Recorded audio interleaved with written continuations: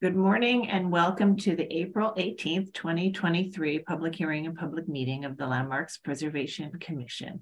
We'll begin this morning by taking attendance and I'll ask our General Counsel, Mark Silberman, to call the roll. Chair Carroll. Here. Vice Chair Bland. Here. Commissioner Chapin. Here. Commissioner Chen. Here. Commissioner Chu. Commissioner Ginsburg. Here. Commissioner Goldblum. Here. Commissioner Jefferson. Here.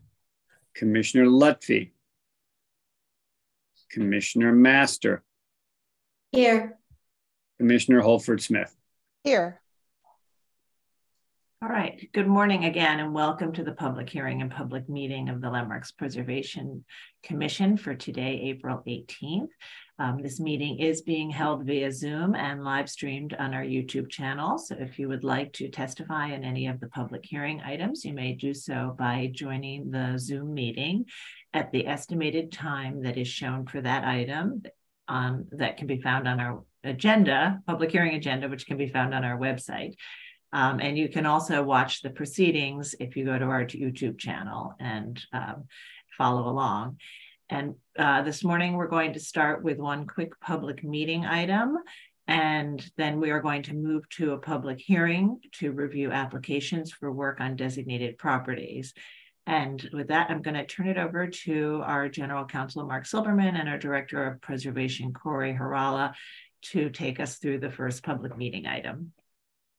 Thanks, Sarah. And I will note that um, for the record, that public meeting item number two, 827 831 Broadway, uh, has been laid over and will be presented at a future public hearing date, uh, but not today. Uh, so with that, we'll go into uh, public meeting item number one.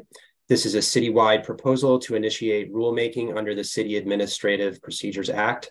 Uh, proposed amendments to chapters 2, 5, 7, and 12 of Title 63 of the Rules of the City of New York, consisting of amendments to existing rules, including amendments concerning storefronts, signage, sidewalks, HVAC, and solar panels, expedited certificates of no effect, master plans and district master plans, the Historic Preservation Grant Program, and a new proposed Chapter 14 concerning public petition for rulemaking.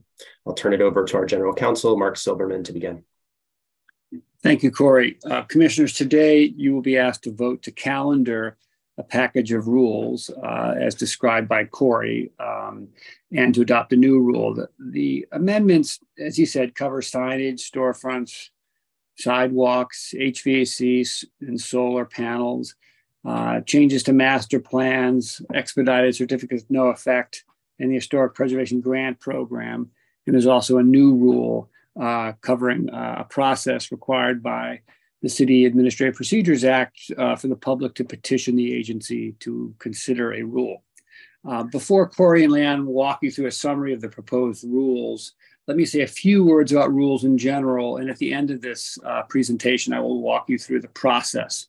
Um, next slide, please? Um, as many of you already know, we have an extensive body of rules that allow the staff to approve work. These rules are codified in Title 63 of the Rules of the City of New York. Um, and uh, they're quite effective. Uh, approximately 95% of all applications are handled by the staff pursuant to these rules. Um, rules play an important role in the agency's mission to protect uh, the city's historic buildings and sites by ensuring our regulation is, is as efficient as possible and in our equity framework as well by promoting transparency into the regulatory process. Rules support the broader purposes of the city as well as the landmarks law to support economic growth and recovery uh, by streamlining regulatory review. Um, by making it clear what criteria are being applied and therefore what materials are needed, rules pr promote transparency and predictability in the regulatory process. Finally, rules um, concerning HVAC and solar installations, as well as the uh, amendments to the sidewalks, further the agency's sustainability and climate resiliency goals.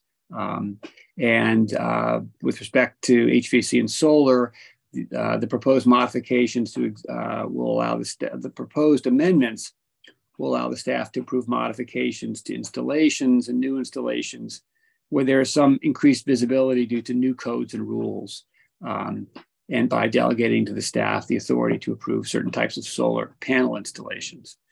Um, the, again, proposed uh, changes to sidewalks will allow various types of plantings, uh, which will also support the resiliency process. Uh, next slide, please. Um, uh, as you'll, when Corey and Lan walk you through uh, the rules uh, and, and you think about where the criteria come from, the criteria are embedded embedded in existing and the proposed rules really derive from three situations. First, they can codify existing staff practices. Um, and um, so we uh, codify those and put those in a rule. This, secondly, um, where the proposed change is a modification to an existing rule to take into account changing codes and rules from outside the agency. Um, third, where the commissioners, where you have consistently applied a set of standards and criteria to approve a specific work type, it's appropriate uh, or to delegate that to the staff for to make it a more efficient uh, regulatory review. Uh, this is the case with the proposed codification of the painted wall sign rule and some of the solar panel installations being proposed. Um, with that as a background, I will turn back. I will turn it back to Corey and Leanne to walk you through um, most of the proposed changes. Thanks, Mark. Um, so we've divided the amendment categories into three basic areas we're going to walk through. Um, first, I will take you through our commercial updates for signage, um, some painted wall signs, and some other changes at commercial establishments. Corey will then walk you through the sustainability and climate resiliency updates, and then Mark will walk through some miscellaneous updates. Uh, next slide, please.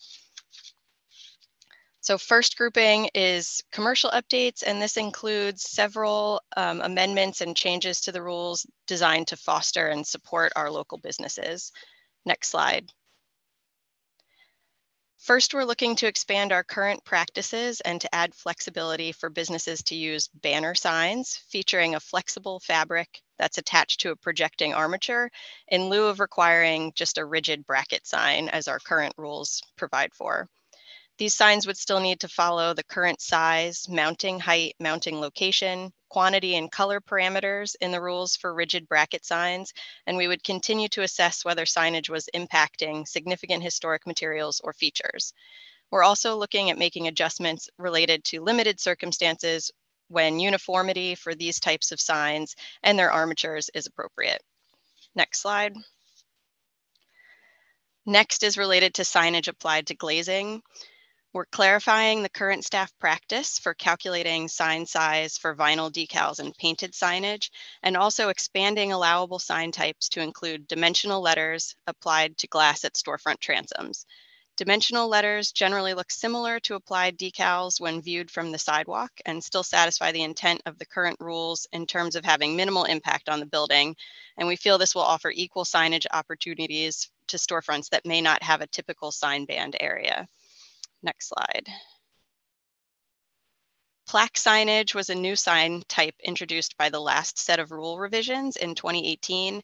After a few years of implementing these rules, we've identified some gaps and adjustments that are needed, including expanding where these installations can occur, allowing for additional sign materials, modifying the calculation for sign sizes, increasing the permitted sizes slightly and dividing into two overall size categories that are based on the building type and size of the building.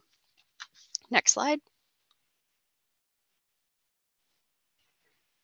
We're also incorporating some technological updates to the sign rules, which include clarifying that LED neon is permitted to use for interior signage in lieu of a traditional neon sign, uh, this type of sign mimics a traditional neon sign, but may be less expensive for a business to purchase, costs less to operate, and lasts longer than a traditional neon sign.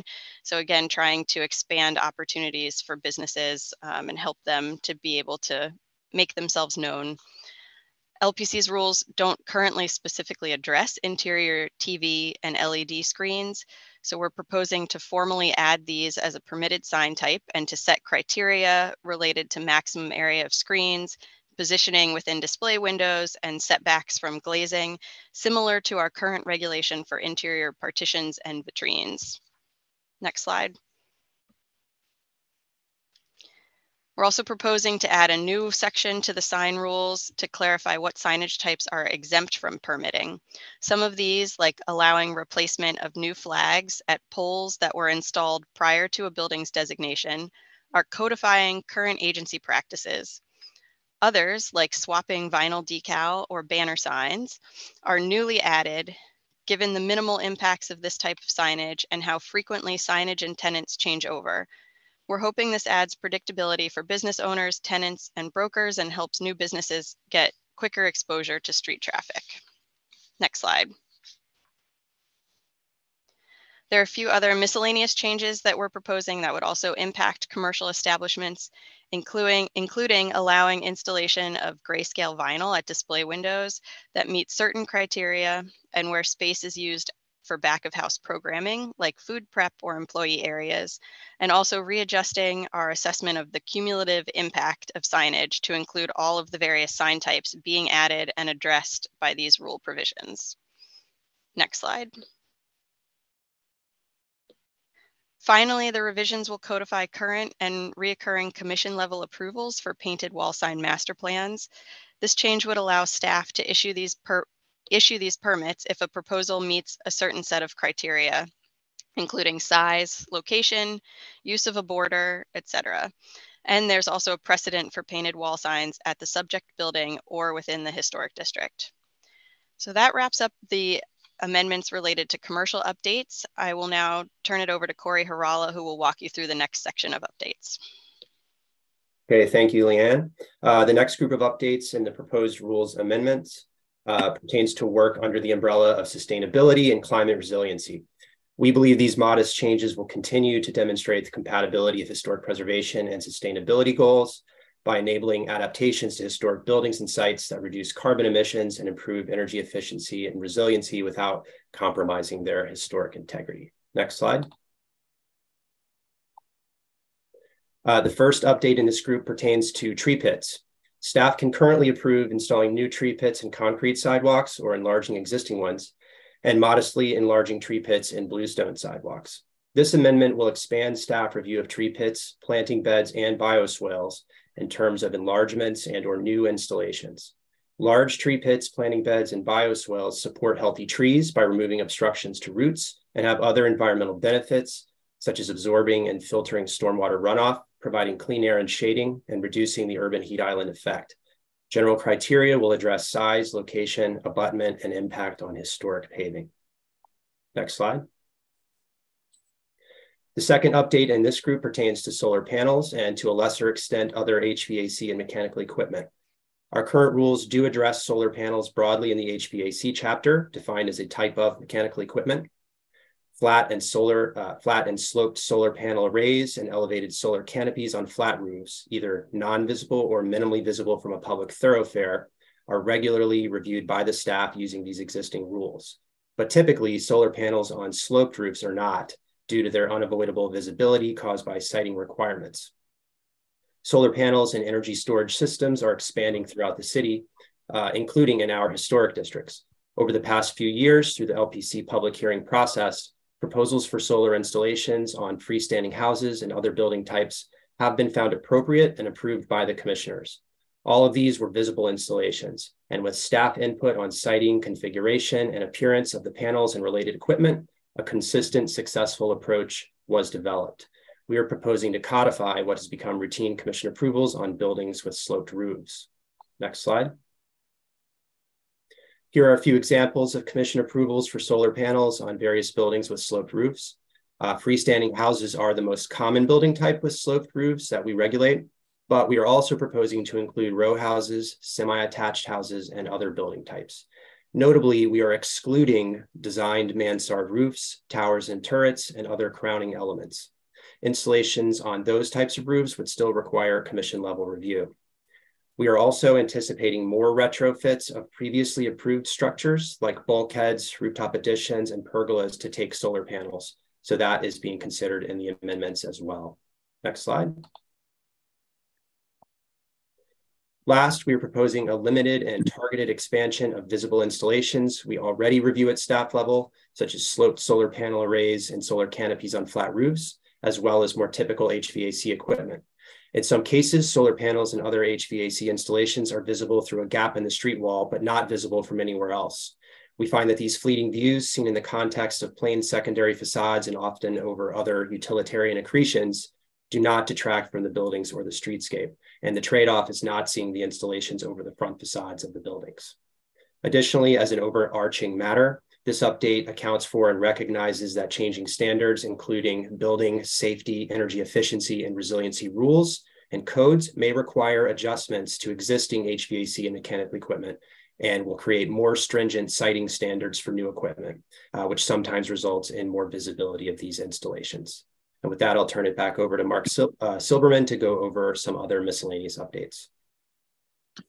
Thank you, Corey. Uh, finally, there's a, a, handful of sort of miscellaneous things uh, before we get to the new rule. Um, the first has to do with master plans, uh, specifically um, uh, removing the current uh, process for issuance what's called an authorization to proceed.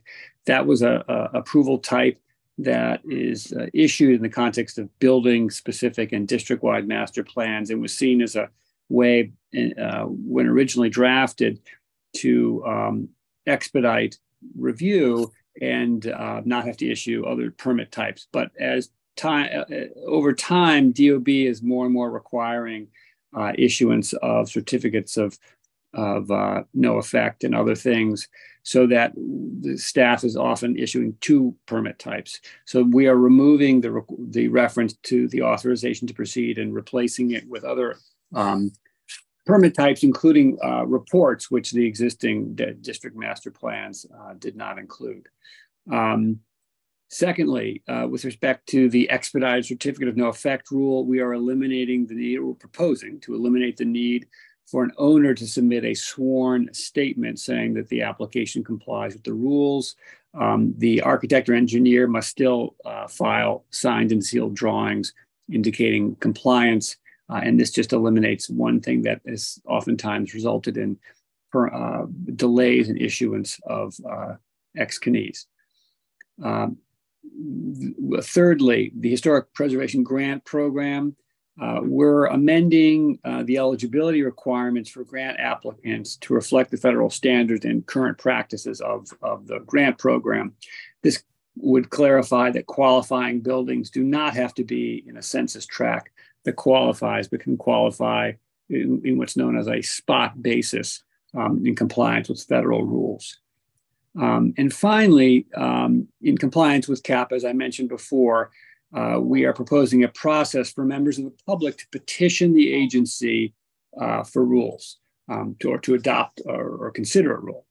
Um, the chair would be uh, uh authorized to review the petition. Uh, it, it, could deny the petition. It could, if it chooses to accept um, the proposal, what that means is that the agency would, uh, in the near future, uh, bring forward to a calendaring vote um, a rule that is based on what was be, what the petitioner submitted. It doesn't it doesn't necessarily have to be the exact language or thing that was proposed, but it's something in the same uh, in the same vein. Um, and and it will be brought forward for the commissioners to consider calendaring and to consider uh, later. Um, and um, next slide, please. Uh, finally, um, just a last few minutes of thoughts about process. Um, so today, commissioners, you'll be asked to, to vote to calendar this package of rules and the new rule for a future public hearing. Uh, we are proposing to hold that hearing on May 23rd.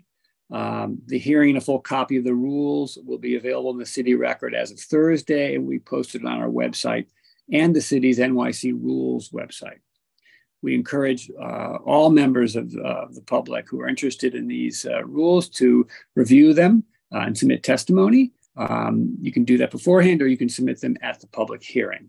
All testimony will be avail- made available to commissioners.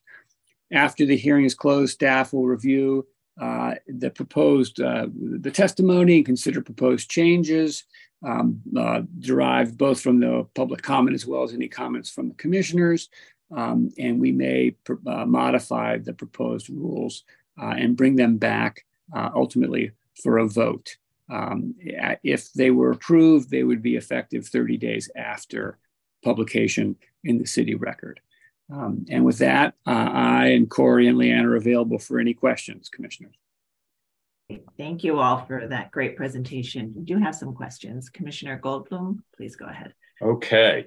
Um, tell me if this is not the appropriate time to ask these questions, but the summary sounds very, very uh, interesting and good. Very, very nice. Nice. Uh, love the rules.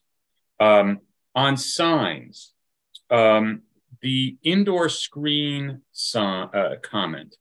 Um, what we we we have, as far as I, I, I understand, an 18 inch rule that if something is within 18 inches or more than 18 inches in from a glass wall, it's kind of it's on the it's on the uh, tenant. It's not really governed by LPC.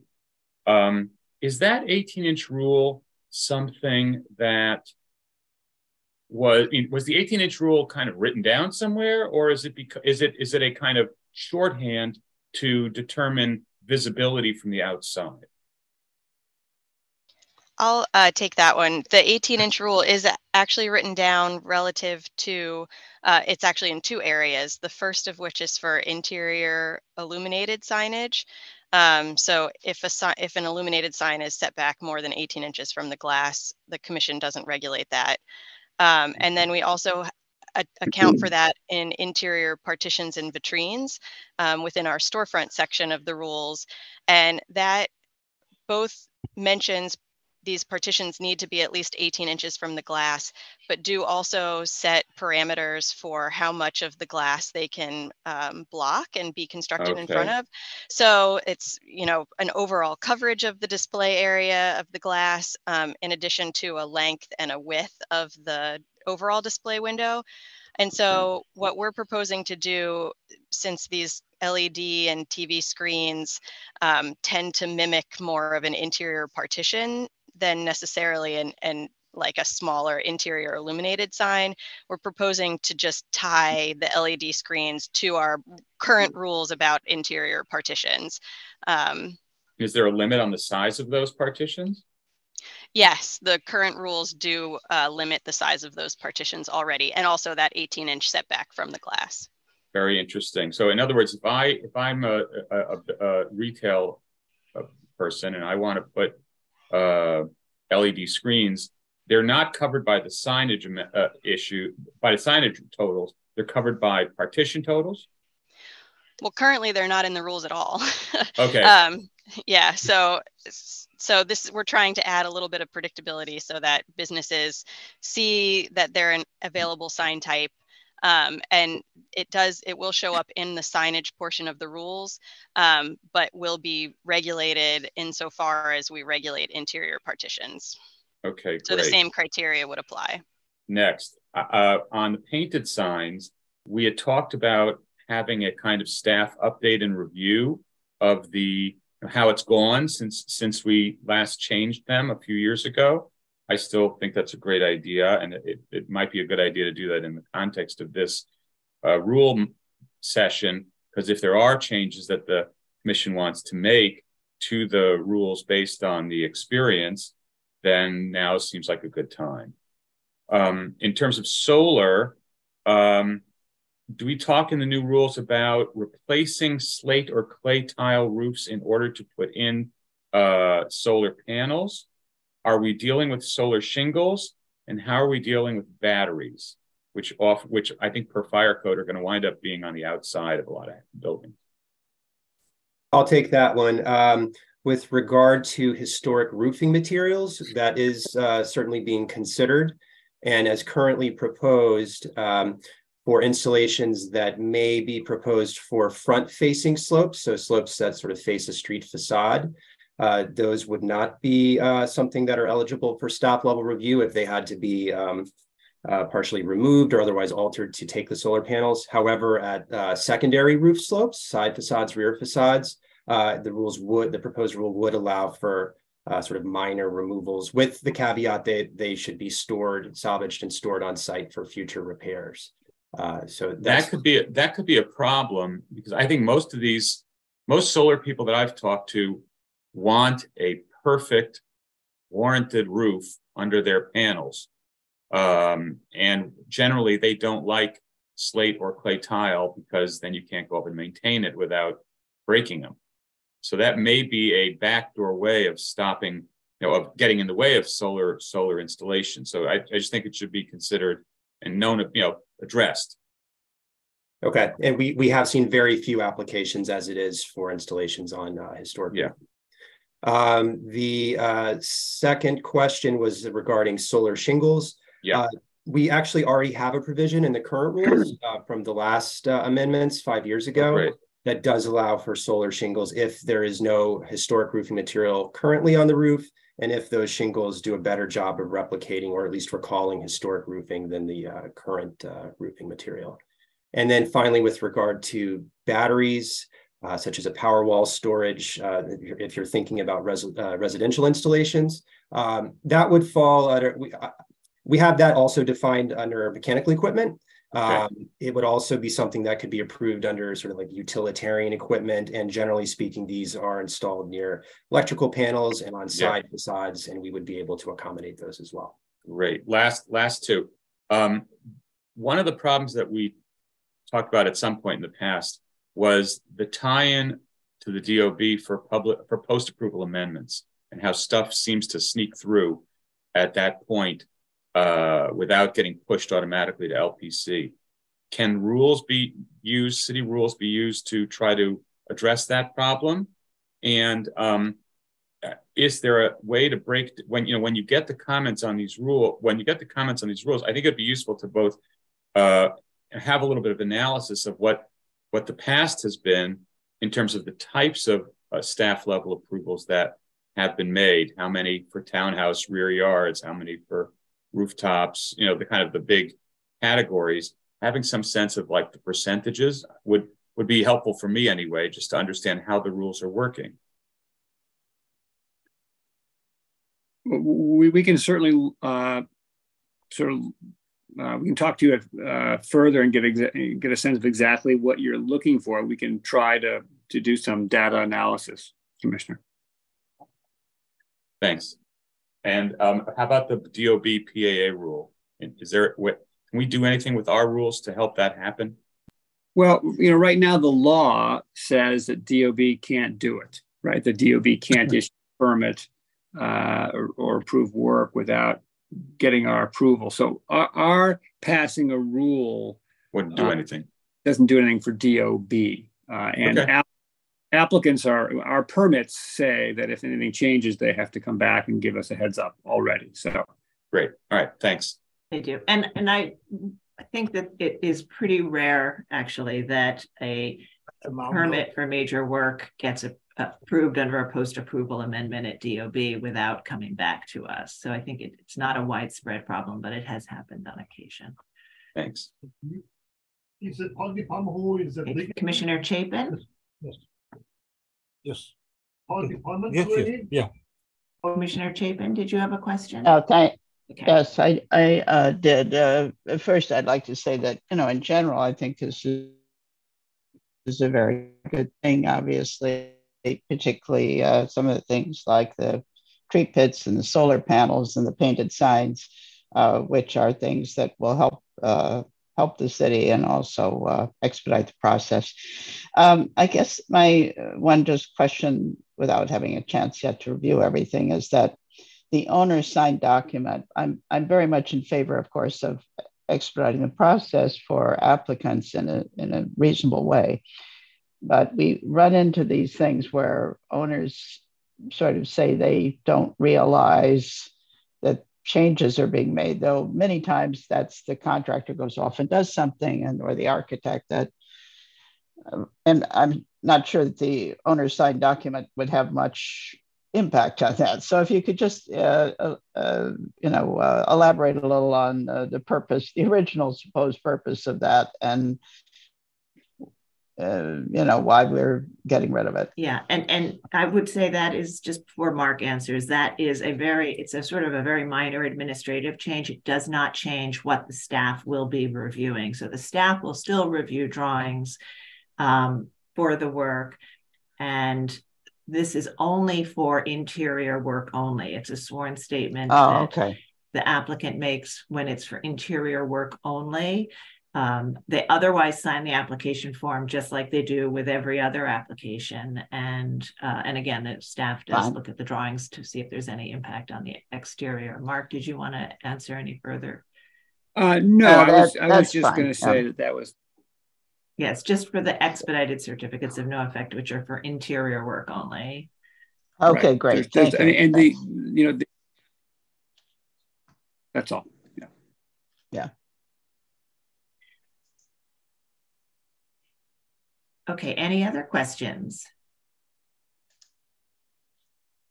All right, well, we are, uh, you know, I mean, this is after we did approve a very large set of amendments and new rules, as you know, in, in January of 2019, after multiple public hearings. And this is really after sort of using those rules for a while, we've noticed some gaps and things, additional things that would make the rules more efficient and um, clear. And we also are responding to newer technologies and making sure that our regulatory work is up to date with that. So these are, uh, this is a much smaller package than the package you all reviewed in 2019 and really sort of uh, building on that. Um, and we have done outreach with, with various stakeholders, including the preservation advocacy groups, um, many of the installers for both signage and the solar panels and other um, resiliency uh, installations and um, have gotten some feedback on what works and what doesn't work from a technical point of view. Um, and I think that we will hear more, I hope, from everybody at the public hearing, and that will give us an opportunity to think about any questions that we haven't uh, already, already currently considered. And of course, please let us know if you have any questions at all. We'll be sharing all of the testimony with you at uh, uh, when after we have the public hearing or any testimony that comes before the public hearing, we'll obviously share with you in advance. Um, and so if we can, I'd like to make a motion to calendar these for a public hearing that would be held on May 23rd. Commissioner Goldblum, would you make that motion?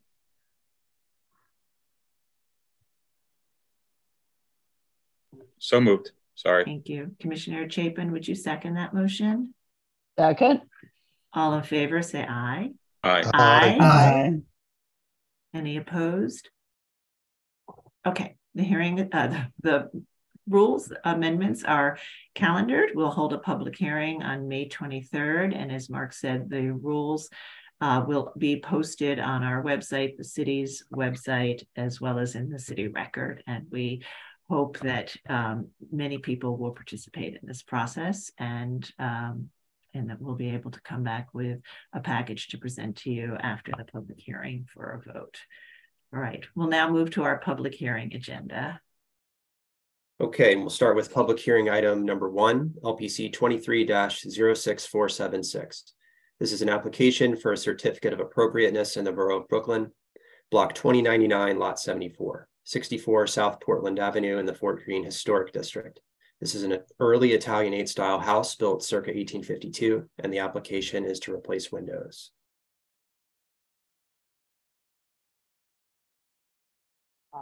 Um, Good morning, Commissioners. Marie Garino, Preservation Staff. The item before you is 64 South Portland Avenue in the Fort Greene Historic District. The building is located on the west side of the street between DeKalb and Lafayette Avenues, and the application is to replace the windows throughout the front facade. The windows are currently double hung wood windows with a two over two configuration at the basement, second and third floors, um, and a four over four configuration at the parlor floor. The applicant is proposing to match the existing windows in terms of configuration, finish, operation, and details, with the only difference being a change in material from all wood to aluminum clad wood. Here are the 1940 tax photos for the row. Number 64 is in the middle. And here's an existing condition photo of the row. Again, number 64 is in the middle. And here is a photo of 64 South Portland Avenue and 308 Cumberland Street, which is a building of a similar age type and style as 64 South Portland Avenue, and which is also located within the Fort Greene Historic District. The installed windows at 308 Cumberland Street are aluminum clad wood windows approved by the commission in 2020. And here are some close-up photos of the aluminum clad wood windows at 308 Cumberland Street. And here are the existing and proposed details for the new windows at South Portland, at 64 South Portland Avenue. And the applicant, Jim Hill, is here to answer any questions. All right, thank you, Marie. Commissioners, uh, we do have some questions. So Vice Chair Bland, please go ahead. Um, is the only reason this is before us because it's uh, aluminum clad as opposed to wood, painted wood? That's correct. On uh, row houses, the staff can only approve aluminum windows uh, at, when they're when the building historically had one over one double hung windows, and in those cases we have a wood brick mold. But for buildings, row houses that historically had multi-light windows, the rule currently only authorizes staff to approve uh, wood. But as Marie pointed out, we have approved aluminum clad wood and other row houses, uh, given Obviously, the my- Yeah, Thank you for, for clarifying that. I had forgotten that, but obviously my question behind it is, shouldn't maybe this be considered a rule that could be uh, adopted uh, so that staff could approve these sorts of things? I think thank you. it's a good, it's a good question because the commission has started to approve it more frequently. And I Yeah. think we found that the aluminum clad wood I, I better understand alu- details. Aluminum would be different, but aluminum clad wood to me is smart to do. Okay, all righty, thank you. Thank you. Other questions? Okay, I don't see any other questions. Let's see if we have public testimony. If you'd like to testify on this item, please raise your hand so we can identify you. And I will turn it over to Gregory Kala to take us through the testimony. Thank you, Chair Carroll. Uh, we received a couple of signups beforehand, so we will be hearing from them first. Uh, the first signup was Lucy Levine from the Historic Districts Council. So, Lucy Levine, I'm promoting you to panelist right now. So, if you could please unmute your line and state your name for the record, you'll have three minutes to speak. Thank you. Good morning, Commissioners. My name is Lucy Levine. I'm speaking on behalf of the Historic Districts Council. Our preference for this front facade is all wood double hung windows as existing. Thank you. Okay. Thank you so much for your testimony. And next up, we'll be hearing from Christina Conroy from VSNY. So, Christina Conroy, I am promoting you to panelist right now. And if you could please unmute your line and state your name for the record, you'll have three minutes to speak. Thank you.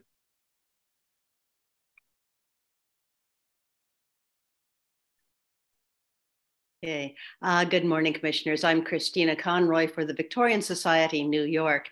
Now, founded in New York City in 1966, the Victorian Society in America is dedicated to fostering the appreciation and preservation of our 19th and early 20th century heritage. The New York chapter promotes preservation of our historic districts, individuals, and scenic landmarks, interiors, and civic art. 64 Portland Avenue is one of a row of four houses, numbers 20, uh, 62 through 68. The historic photos for this row show that all four houses have one over one sash. Please note that the applicant has incorrectly labeled the tax photo for 64 South Portland, stating that the building had four over four sash at the parlor floor. This is clearly an error. The picture shows that the parlor floor had one over one sash. We believe that what appears to be a vertical muntin bar, which gives the appearance of two over two sash, is actually a gap in the drapes inside the glass. We are attaching a blow up of the tax photo to show that this gap is not symmetrical with the sash as a vertical, an actual vertical muntin would be. Three of the four houses in the row, including 64, currently have four over four wood windows at the parlor floor. We don't know if these windows were installed prior to designation or without permits or on what evidence this configuration is based, but unless there is evidence of the four over four sash predating the tax photos, we urge that the proposal be modified to return to the documented one over one wood windows. Thank you. Okay, thank you so much for your testimony. And I'm looking through our list of attendees now, and I do not see any further hands raised. So I will just note for the record that Brooklyn Community Board 2 recommends approval. And I will bring it back to you, Chair Carroll. Okay, thank you very much. So I'd like to turn back to the staff and to the applicant and ask if you'd like to address the question about the configuration. The windows. I'll, I'll uh, just jump in for the yeah. configuration. Um, so we, you know, when the staff reviews historic photographs, we always um, kind of recognize and understand that the tax photos from the 1940s are just a snapshot in time. In many cases, as is in the case here, was taken 80 to 90 years after the building was constructed. And so they are not always representative of the original window configuration. And we believe that is the case here. Uh, a mid 1800 buildings, uh, 1800s building would not have one over one windows as that size glass was not widely available in New York City until a couple of decades later, except for very rare uh, circumstances where something was imported from Europe. Uh, so while we may not know the exact original configuration, we are certain it was a multi-light configuration. And so the staff is reviewing that in the context of other approvals in this row and other buildings of this uh, style and age. Thank you. Um, does the applicant want to add anything at this point before we move to our discussion?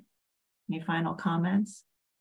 Uh, hi, yeah, this is uh, Jim Hill from Urban Pioneering Architecture. Uh, no, I don't really think I, I, need to add. I think it's been pretty well covered. Uh, I see that the gap in the meeting uh, sash kind of led to a mislabeling of the lower floor windows, but uh, I think as Corey pointed out, it really is more about what is um, more likely original versus what was present when those tax photos were taken. So um, I don't think I really have anything more to add. Thank you. Okay, thank you. All right, commissioners, do we have any final questions? Okay, I'm going to ask you all to unmute so that we can move to close our hearing and begin our discussion. Um, so as was uh, Corey presented, uh, the the uh, configuration of the window was determined based on staff's knowledge and applicant's knowledge and expertise on historic window technology.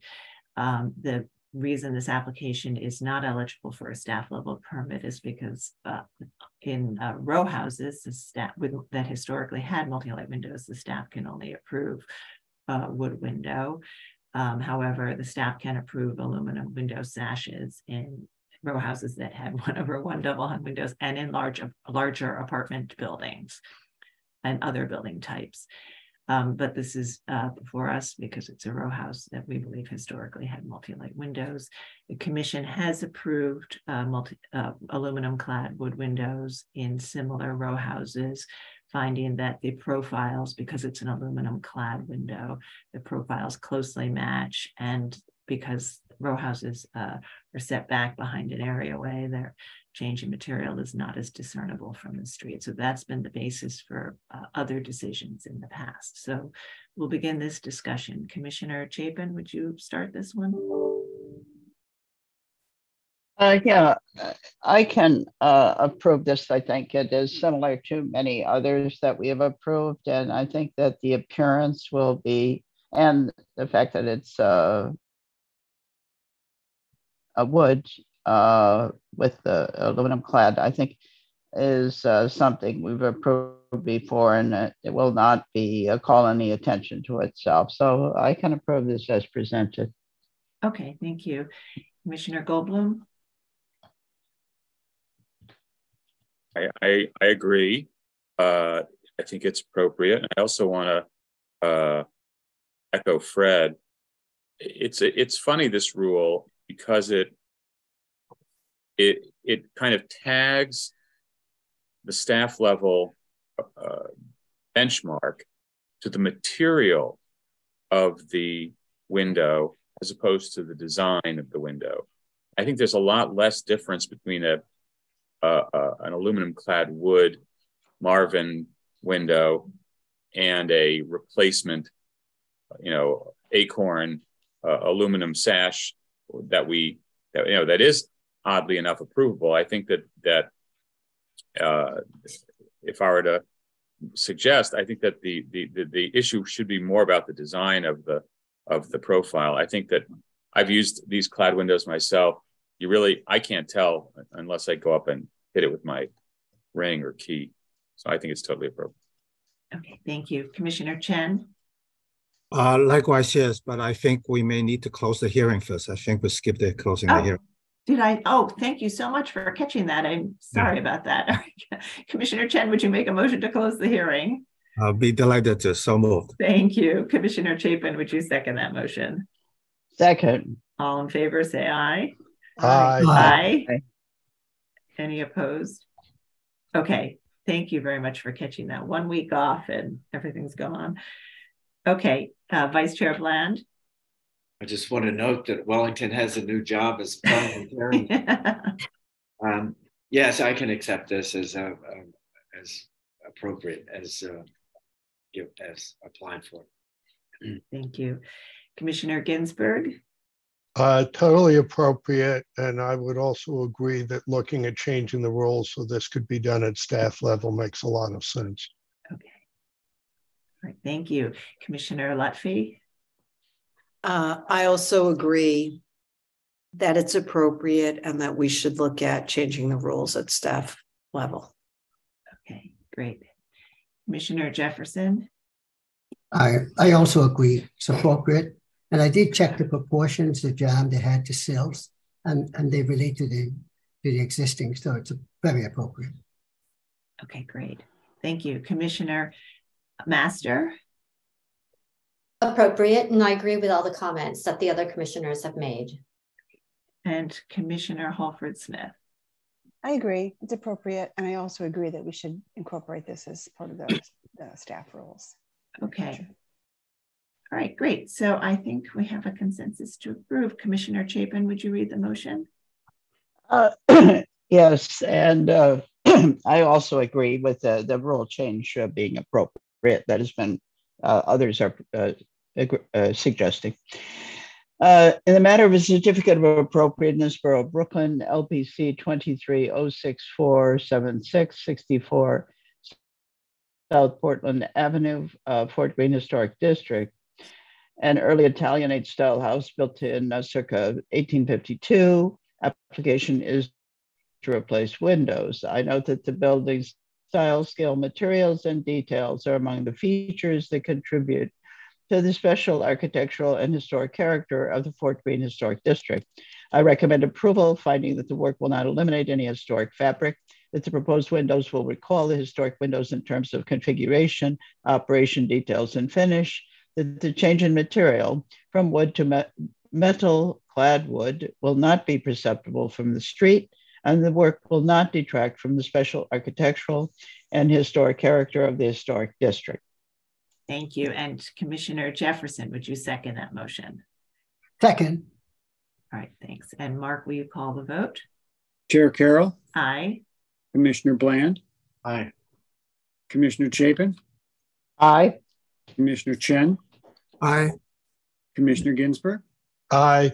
Commissioner Goldblum? Aye. Commissioner Jefferson? Aye. Commissioner Lutfy? Aye. Commissioner Master? Aye. Commissioner Holford Smith? Aye.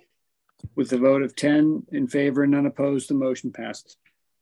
That's approved. Thank you. And we will consider the recommendation to formulate a rule around this. And we'll now move to the next item. The next item is public hearing item number two, LPC 23-08590, an application for a certificate of appropriateness in the Borough of Brooklyn, block 1138, lot 3, 597 Vanderbilt Avenue in the Prospect Heights Historic District. This is an Italianate style store and flats building designed by John Doherty and built circa 1878. The application is to construct a rear yard addition. And we're just waiting for staff to join.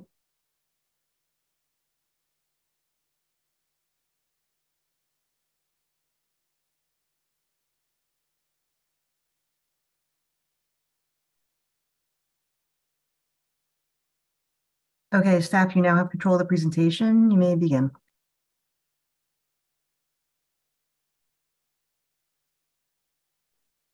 Oh, hi, uh, Timothy Shaw, preservation staff. Sorry, I believe that the architect was going to run through this presentation. That was what was listed. Um, are they in the, I just got promoted into the room, so. Um, Robert Cody, I'm not seeing him on the Architect attendee list. okay. Uh, let's see. Well, Tim, could you go ahead and uh, run through the presentation? Yeah, I think I can. It's just simple Cody? enough. Sorry. Um, okay, this is um, 597 Vanderbilt Avenue, um, a uh, building on Vanderbilt uh, between Bergen and Dean Streets in the Prospect, Har- Prospect Heights Historic District. These are existing condition photos. This is the um, storefront Inaka here in the center, staff level, I mean, a commission level approval from about 10 or 12 years ago. Um, the application here is to ins- uh, construct a one-story rear yard addition uh, that will encompass the entire lot of the rear yard. So this is the um, plan of the site showing uh, that it's just at the edge of the historic district. Um, it's in red here. And uh, let's see. This is an aerial view um, and showing the existing conditions. And uh, it is not visible from the street, uh, in part due to the um, the rear building built at 651 Bergen and the new building that was constructed just outside the historic district is 653 Bergen.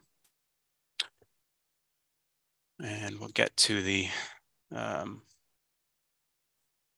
existing conditions. So you can see at the neighbor 595 already has a full lot addition and um, more views of the, the rear of the neighbor's rear yards. Looking north.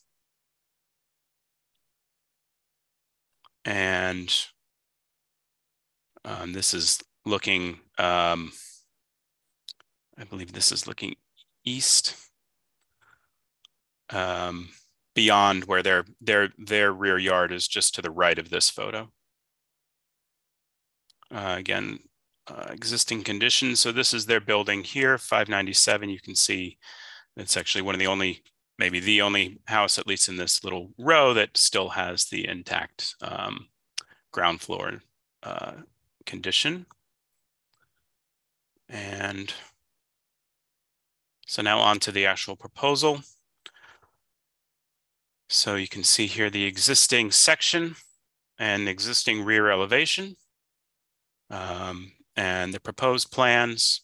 And so the proposal is a, as noted, a full, uh, full lot addition um, just at the first floor for the commercial space that's there now. And that's the proposal. And I believe if you see, um, just to be, uh, they're, they're actually, um, the changes at the rear facade at the ground floor, they're, they're only, I think they're only barely changing the openings. It's the, the existing rear facade is, is staying, you know, uh, the, the wall is, is still staying there. They're just extending back. Okay, thank you. Mhm. All right, commissioners, do we have any questions? Don't see any questions. Let's move to public testimony. If you're in the meeting and would like to speak on this item, please raise your hand so we can identify you. And I will turn it over to Gregory Kala to see if we have any testimony. Thank you, Chair Carroll. Uh, we did receive one sign up beforehand. It was from Mary Shuford from PHNDC, but I am not seeing them right now. I'll, I'll give them one more moment. Yes, Mary. Oh, yes, Mary Shuford. So I will be promoting you to panelist right now, Mary Shuford. And if you could please unmute your line and state your name for the record, you'll have three minutes to speak. Thank you.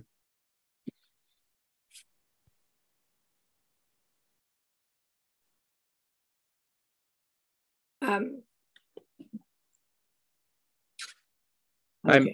I'm also putting myself on my picture on. I hate looking at the blank screen. Hmm. Um, my name is Mary Shuford. I'm representing the Prospect, Heights, Prospect Heights Neighborhood Development Council. Um,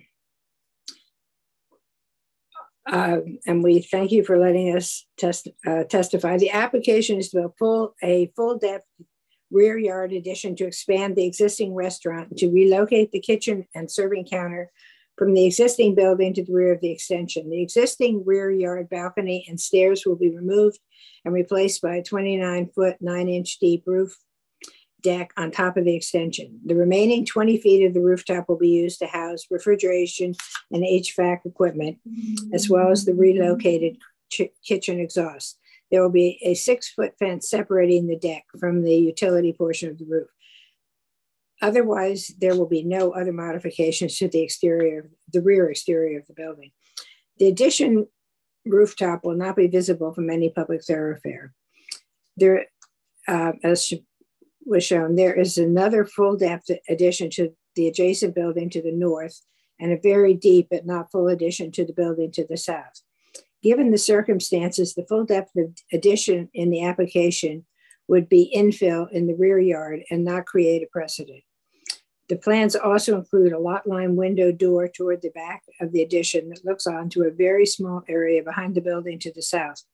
PHNDC has objected to lot line windows in the past, most recently in the case of an application for the rear yard extension at 593A Vanderbilt Avenue, two, do two doors to the north. However, in this case, there are no openings from 599 Vanderbilt onto the small space behind that building, nor is the space accessible from the building. Further, the proposed window would provide the only access to the space. Because this is a unique circumstance, PHNDC does not object to this application. Thank you for considering our testimony. Okay, thank you so much for your testimony. And I see that we have one hand raised to call in number. Uh, I, I believe it is the architect for this project. Is that right, Corey? So I'm going to allow you to speak now. And if you could please state your name for the record and unmute your line, you'll have three minutes to speak. Hi, this is Robert Cody. I'm the, the applicant and the architect. I, I was connected to the Zoom and then suddenly my internet service went down right as the presentation started. I, I think Tim did a good job of explaining the project and then the additional comments from the community board. I, I don't have anything additional to add. I just wanted to let you know that I was here. Okay, great. Thank you. And if you could just stick around for a minute, we'll see if we have any final questions from the commissioners. Commissioners? I don't see any questions for you. So, um, um, Gregory, let's keep the applicant in the meeting, in the as a panelist for now, and then you can continue with the other uh, any other testimony. Okay.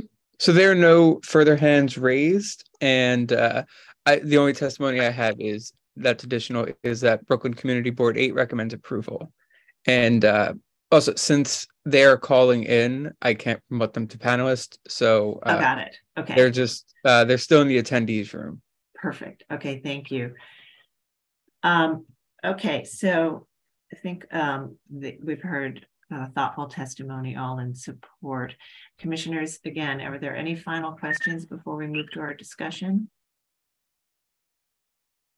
Okay. All right, I'm going to ask you all to unmute so that we can begin our discussion.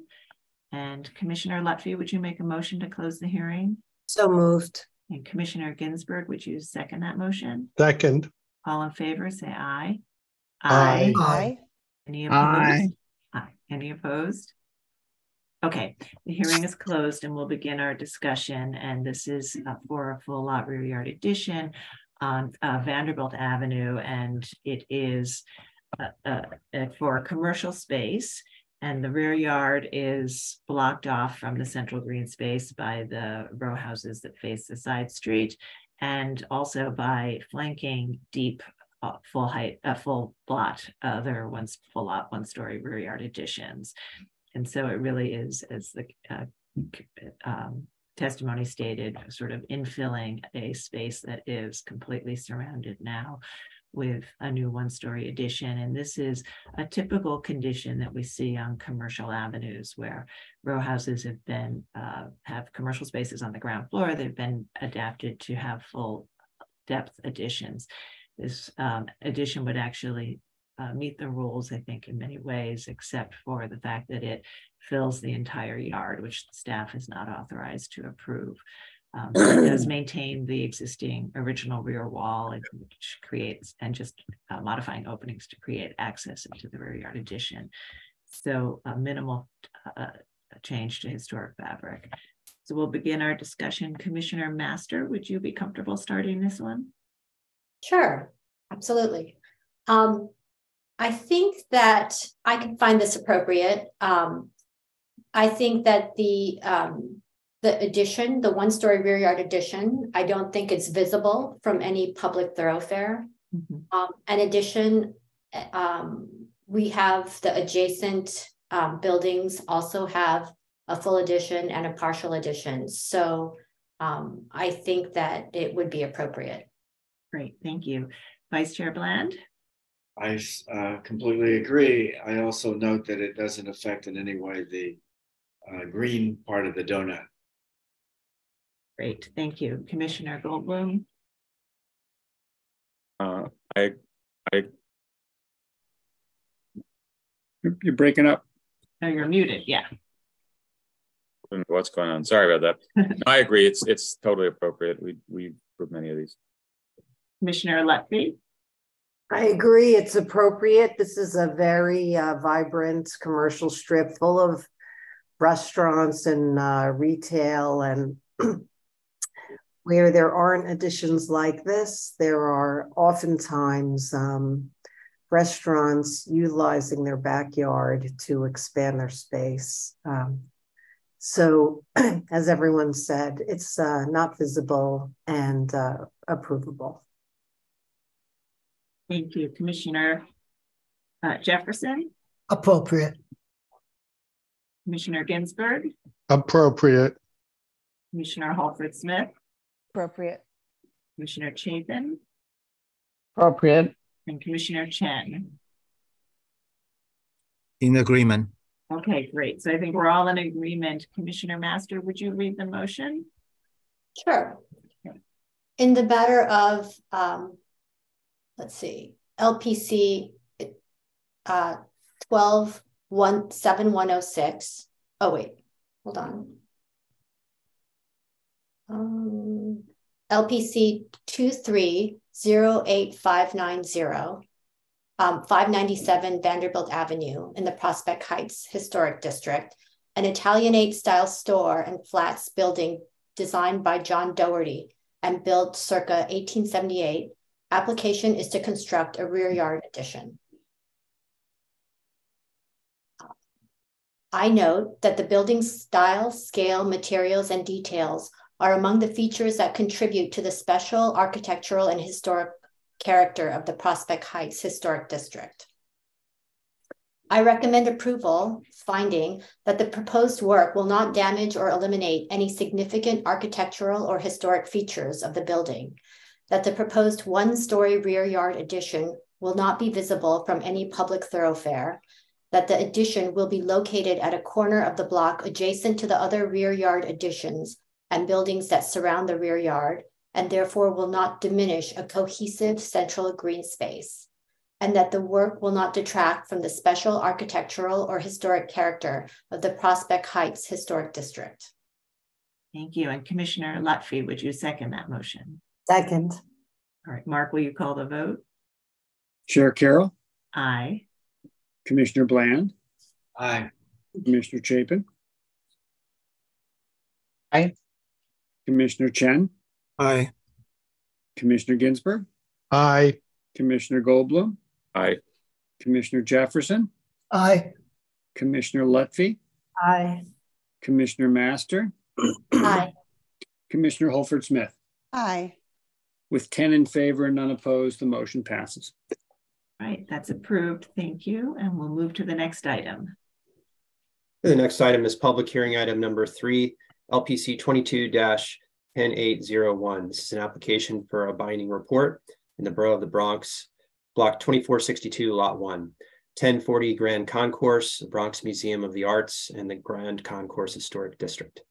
Uh, this is a museum originally built as a synagogue and community hall designed by Simon B. Zelnik and built in 1961, later altered and expanded by Castro Blanco, Piscioneri and Associates in 1988. The application is to demolish, alter, and redesign portions of the building and site. And commissioners, the uh, applicants have joined the hearing. Uh, just a reminder to attendees to please accept the promote to panelist prompt when you see it. Um, you now have control of the slides uh, and you may begin.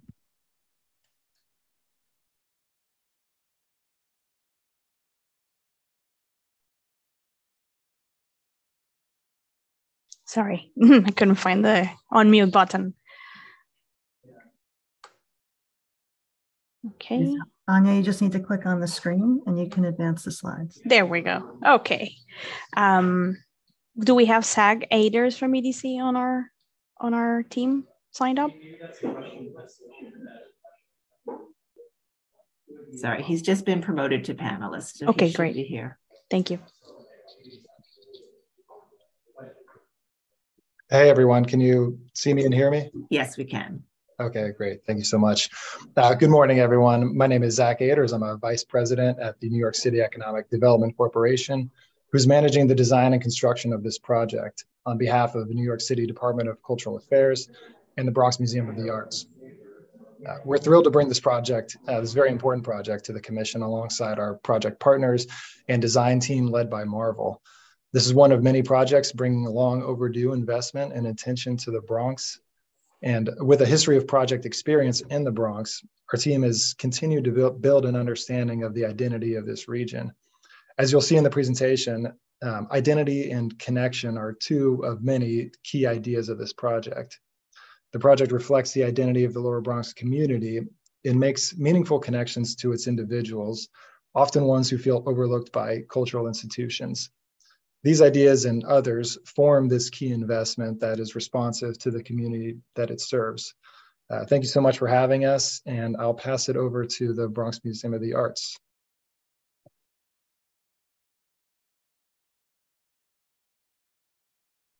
Good, good morning, commissioners. Can you hear me?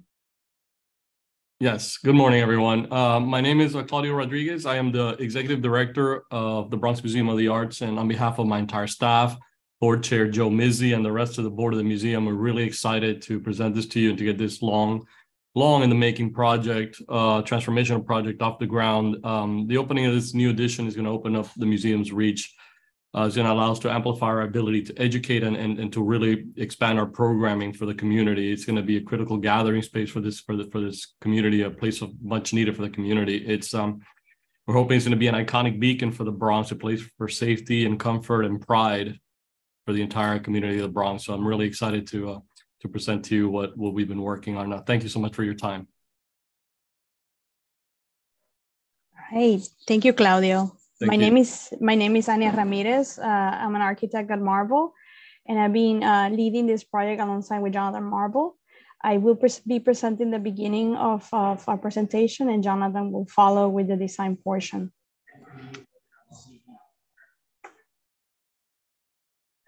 I need to get acquainted with the clicker. So, okay. As expressed by Zach Aders and Klaudio, um, this building is intended to be a celebration of the Bronx. Um, and we, we want to start with that, um, with that feeling of this presentation. Bronx Museum is located in the Grand Concourse um, alongside uh, many other uh, institutions. And it's, it's, it's no, uh, it's no, uh, it's no surprise that so many institutions are located in, within the Grand Concourse district, as it, it was and it has been a very prominent uh, portion of the Bronx uh, to this day and will continue to be. Um, our project is located and in the historic district, uh, which was designated in 2011.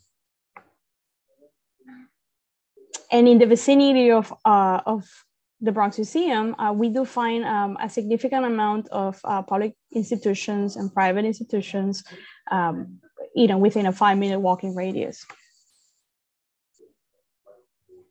We have parks and we have, uh, we have a, a very uh, vital uh, cross intersection um, leading you to the Yankee Stadium.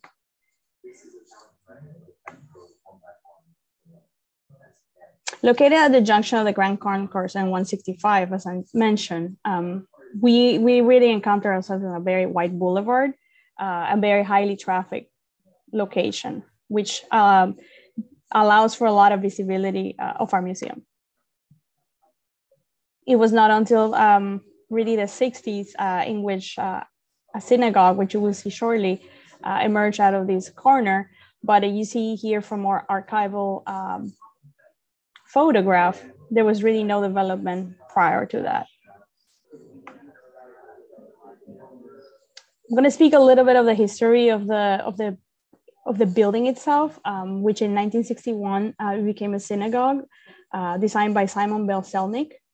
Uh, due to the nature of the district, uh, the Grand Concourse, and its importance to the Bronx. Um, in the late 80s, uh, the property was acquired by the city and made it into a museum of the arts uh, by Castro Blanco Piscioneri and Associates, uh, which is a very notable uh, architect uh, of that time. The needs and the growth of the museum um, led to an expansion to what we call the North Wing, uh, designed by Arquitectonica and completed in 2006. Some visuals on, on the evolution of the building and the addition.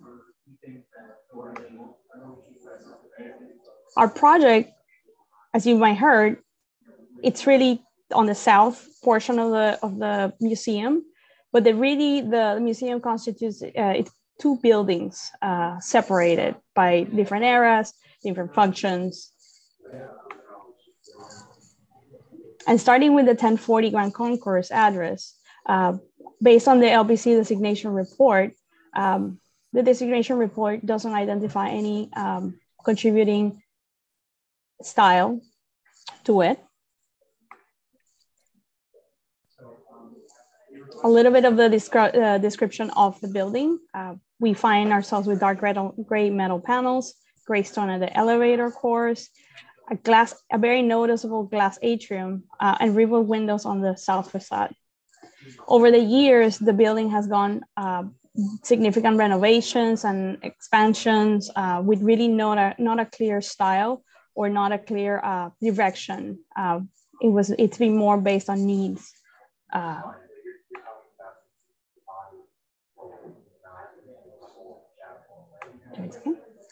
In contrast, um, based on the 2011 uh, designation report, the western facade of the uh, 2006 edition uh, was uh, denoted uh, a style which is contemporary, uh, which we are we will be addressing in our design. A little bit of the of the architecture of that uh, of that building. Uh, it's worth noting that the other facades of the of the building were not uh, designated with a style, uh, only the western facade. And the materials uh, of the facade are prevalent uh, aluminum metal panel. Um, on the on the sides, we have some CMU painted walls, and we have some windows that are um, sort of creating vantage points towards the the district uh, north and south. But the visibility towards the interior is limited. And even though there is a marquee, the, uh, you know, highlighting the entry point, it's relatively low in scale uh, when compared to other buildings in the district, as well as in the relative monumentality of this building.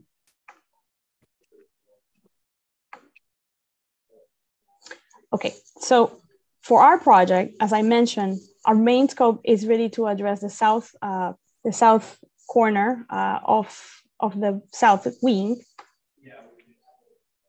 by helping to create a Bronx identity and a place for the community of the Bronx. Uh, for a long time, this building has, um, you know, felt relatively closed out to the community, and we were tasked to revisit that feeling, um, to reimagine the museum experience from the street and blur the threshold between the inside and out. In addition, we created an accessible circuit uh, to, influence, to influence the patterns of movement to create different experiences once you are in the museum. We are intending to make it adaptable and flexible for the future generations. And last but not least, design something to be built and to be uh, on the budget that we has been allocated. Marvel utilizes uh, physical models, and you will see later on in our presentation. Um, but just for the clarity and, and you know understanding of everyone's uh, design process, here you can see more in detail the actual project scope. In which we are you know facilitating some access between the north wing and the south wing which is currently only through one door.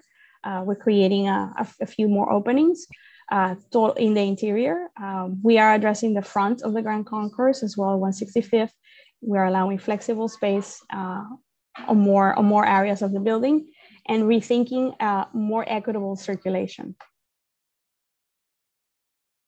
in terms of our formal concepts, uh, we intended to celebrate the corner as a tie together of the building campus, blend the boundary, bring the street into the gallery, um, create a museum transparency, bringing gallery to the street, and uh, work on a free circulation that creates a continuous gallery loop. I'm going to speak a little bit of the Grand Concourse Historic District some of, my, of you might know, uh, the Grand Concourse uh, was really designed in the late 18, 1800s, um, resembling uh, the idea of the Champs-Élysées. But quickly, the district took a, a, a, different route, and in the in the early 20th century and mid 20th century, it took a, its own character and uh, it quickly became a residential hub uh, to move uh, into the Bronx. Very vibrant and full of uh, a lot of diverse institutions uh, to support uh, this community.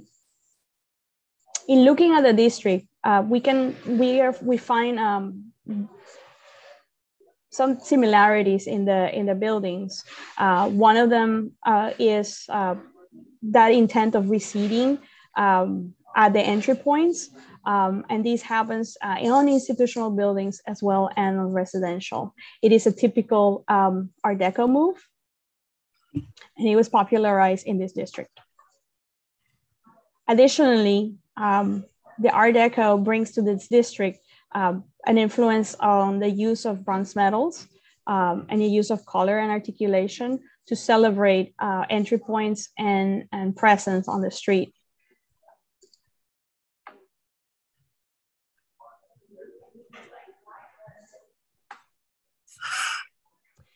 Marquees are also a signature of, of these grand concourse. Uh, we have identified a series of them in which um, its, so its main purpose is to demarcate an entry point, um, reaching out into the street of this grand boulevard. The Grand Concourse is no stranger to institutional buildings and civic ones that are monumental in nature, um, creating a mark uh, of, of, of, sort of a reference point uh, in the Long District. And next door, uh, we do have a few neighbors, as I as I noted earlier, uh, that are more institutional in nature, uh, but but do present uh, different variations of, of the Grand Concourse, um, and also pointing out different eras. Going into the building, um, we find ourselves with a palette of metal panels from the north wing, um, some glazing uh, that varies in color from the north wing and the south wing, um, a dark metal panel, stone panel, and a bronze-like uh, glazing for the south wing.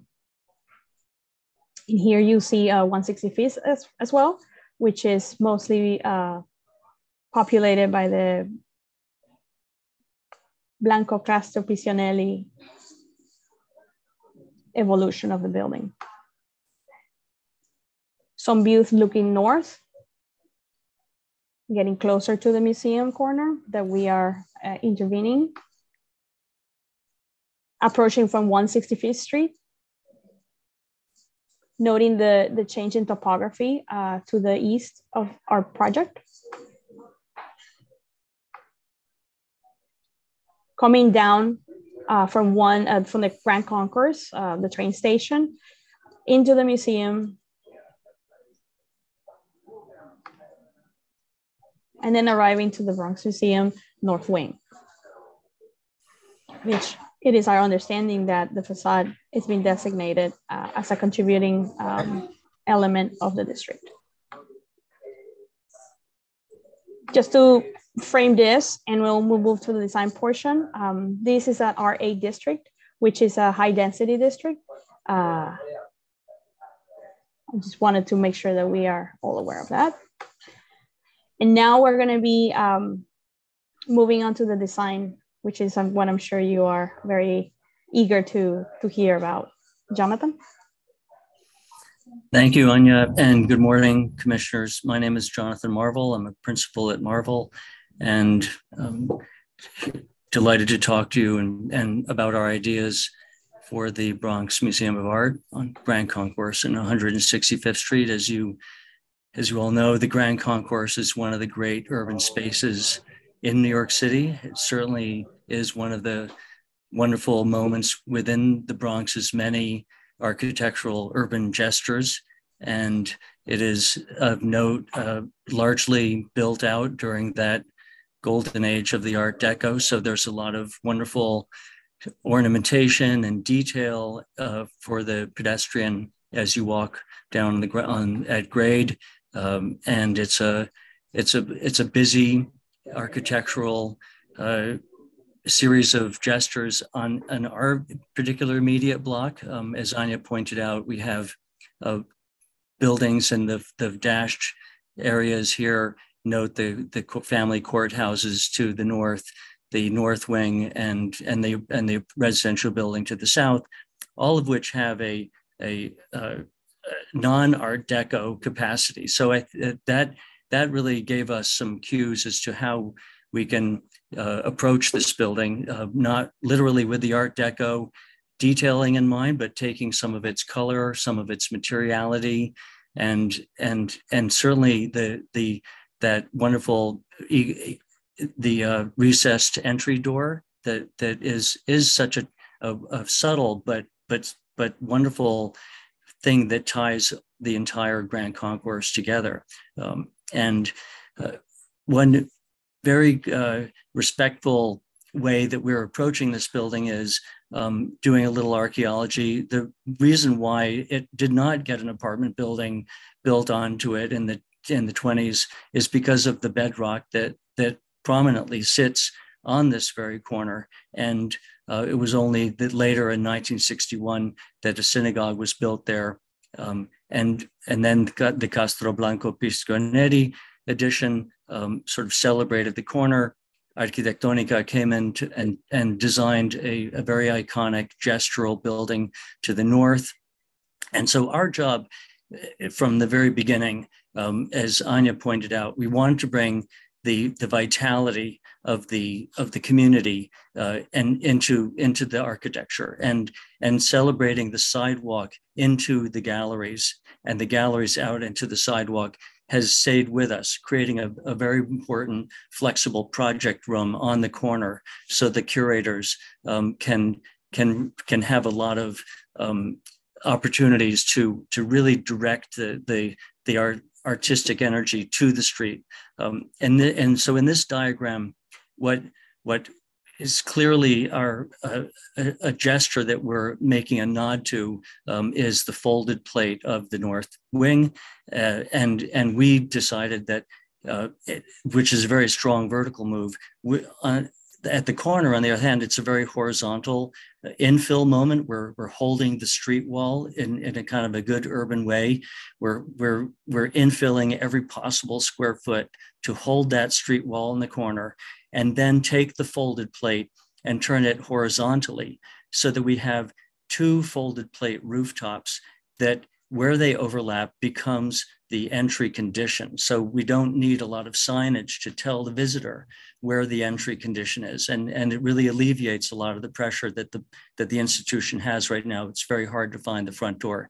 So as you can see in the, in the lower elevation rendering, um, where the two roofs meet um, is also supported by where these two trapezoidal walls, which are floating on the storefront, um, where they where they where they start to intersect is also marking helping mark that entry point. So you get the shadow lines of the roof you get the shadow lines of the of these trapezoidal walls which are uh, gfrc um, panels uh, and and and very simply uh, reducing the materiality to these three uh, um, uh, elements, the rooftop, the panels, and the storefront, um, is is something that we're very conscious of trying to keep it simple, uh, letting the architecture do the celebration of the corner for the community, and then flanking the the the building, the the new uh, infill, uh, are these white walls uh, on the on the right. Our, our proposition is to peel off the the gray metal panel and paint the and and and expose the original synagogue brick and paint that white. And at the same time, on the north wing of the Arquitectonica building, what is now uh, a CMU wall with a very minor um, uh, change in in pattern and horizontally about in the middle of the wall uh, is to is to give it a light uh, almost uh, a, a, whitewashing so that some of the the texture comes through, but it's but let the CMU uh, stay CMU, um, and then and that way that wall can be used curatorially for uh, movies at nighttime or a, a big banner or a mural, uh, something that that the, the museum wants to build into their into their uh, expression of of bring the art to the public. Um, and the, so from the north looking south at the corner, giving, giving it a strong uh, corner is, is amidst this, this uh, you know, one once in, in all of the Grand Concourse, you get the Arquitectonica to the north and that residential building to the south. Uh, you know, this is a, a, a fairly eclectic corner. So uh, the, this gesture is trying to anchor that corner with its own vocabulary, picking up uh, some of the DNA of, of the building and also the grand concourse. One, one thing to point out is, as we continue the discussion is that I mentioned we're doing some archaeology. We're, so the original synagogue, uh, which was then clad later on by Castroblanca, we're peeling off all the cladding. We're removing all of the, uh, the planters and all those gestures, and then so that the infill corner condition, we can occupy all of that square footage with public spaces. And, and, and in this view, you can see um, that glazed portion uh, is a is a cafeteria. It's more like a coffee shop type of thing. It's not a restaurant. It's it's a it's a supporting uh, food and beverage for the museum. Um, not it'll be serving prepared foods. They won't be preparing it there. It's not won't have a big kitchen. Uh, just a warm up situation. So, but but we all realize that we need that kind of uh, dynamic way to linger uh, as part of the entry condition for for the museum itself. The materials that that are existing that Anya mentioned, um, the iconic uh, is a mill finish aluminum. That that CMU block pattern you can see to the right of the aluminum. It's a center center uh, upper row, and then the metal panel on the on the upper right is what we're going to peel off to expose the brick, of which we which we intend to paint um, white, so it can then work with the the palette uh, on the on the campus. And then the proposed material are with our strong suit um, of the the folded plate roof element, which is something that that is an incredible material uh, that we're proposing. And here's a, a, beautiful sample of it. It's 90% copper, 10% zinc. So it will not, uh, it will not oxidize and it has a, an orbital finish. We'll be sealing it. And so this is, this will be on the um, of, of it's and its color hard to see in in this without daylight, but it has a, a very warm glow to it, and it would be on the roof, in the soffit, uh, interior as well as on the the fascia. So it it it'll it will be a uh, a material that will be seen from the sidewalk. It'll be seen inside the project room and and the the cafe, as well as from the rooftops of the adjacent buildings. And and we know that the Bronx Museum has has zoning FAR available. Uh, years later, there the, the I think the intention is to keep on building on their site.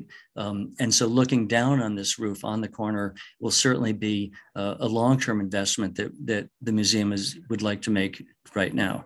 Um, in addition to that, that uh, rooftop, which is floating on top of a glass storefront with steel um, columns and, uh, and, and mullions, um, we have a GFRC panel, which is a, uh, and, and this is a, a, a small sample of it, it has a diagonal uh, pattern that runs through the, the rectangle. It's four feet by 10 feet, and it will be um, precast and, and uh, a smooth finish so that we can um, we can we can coat it with an anti-graffiti paint. We can also power wash it. It's an integral material, and and it will be a staggered um, panel system that that floats uh, off of the structural system. It touches the ground.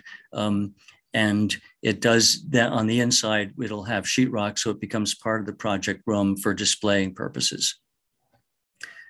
And the um, uh, of note on on the in terms of the archaeology, the the the synagogue which was clad, we'd like to unclad it and then paint the brick white uh, and and then you which will be housing administrative offices and so here's a, a sample of a white painted brick. It'll it'll be able to tie into the to the north wing. Uh, again uh, this is a meant to to sort of whole host all the, the, the periods of history to a certain degree um, that the building has has had and as it's transformed the corner in the past 60 years.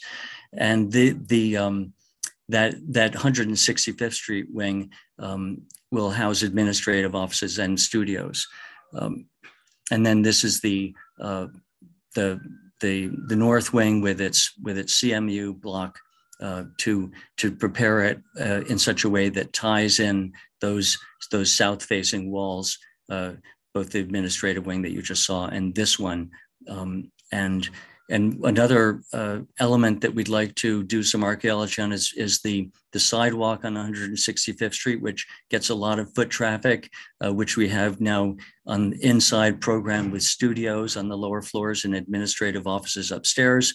And the we'd like to remove the planters and, and open up the sidewalk so that you can see how the building meets the sidewalk, use that sidewalk and as public space, it's valuable public space and, and allow the building to engage the, the street. And, and from this view looking west, you'll see that canopy, uh, that, that marquee, the roof becomes essentially a marquee that turns the corner with that uh, copper zinc uh, cladding and and so this kind of summarizes the materials that we'd like to use.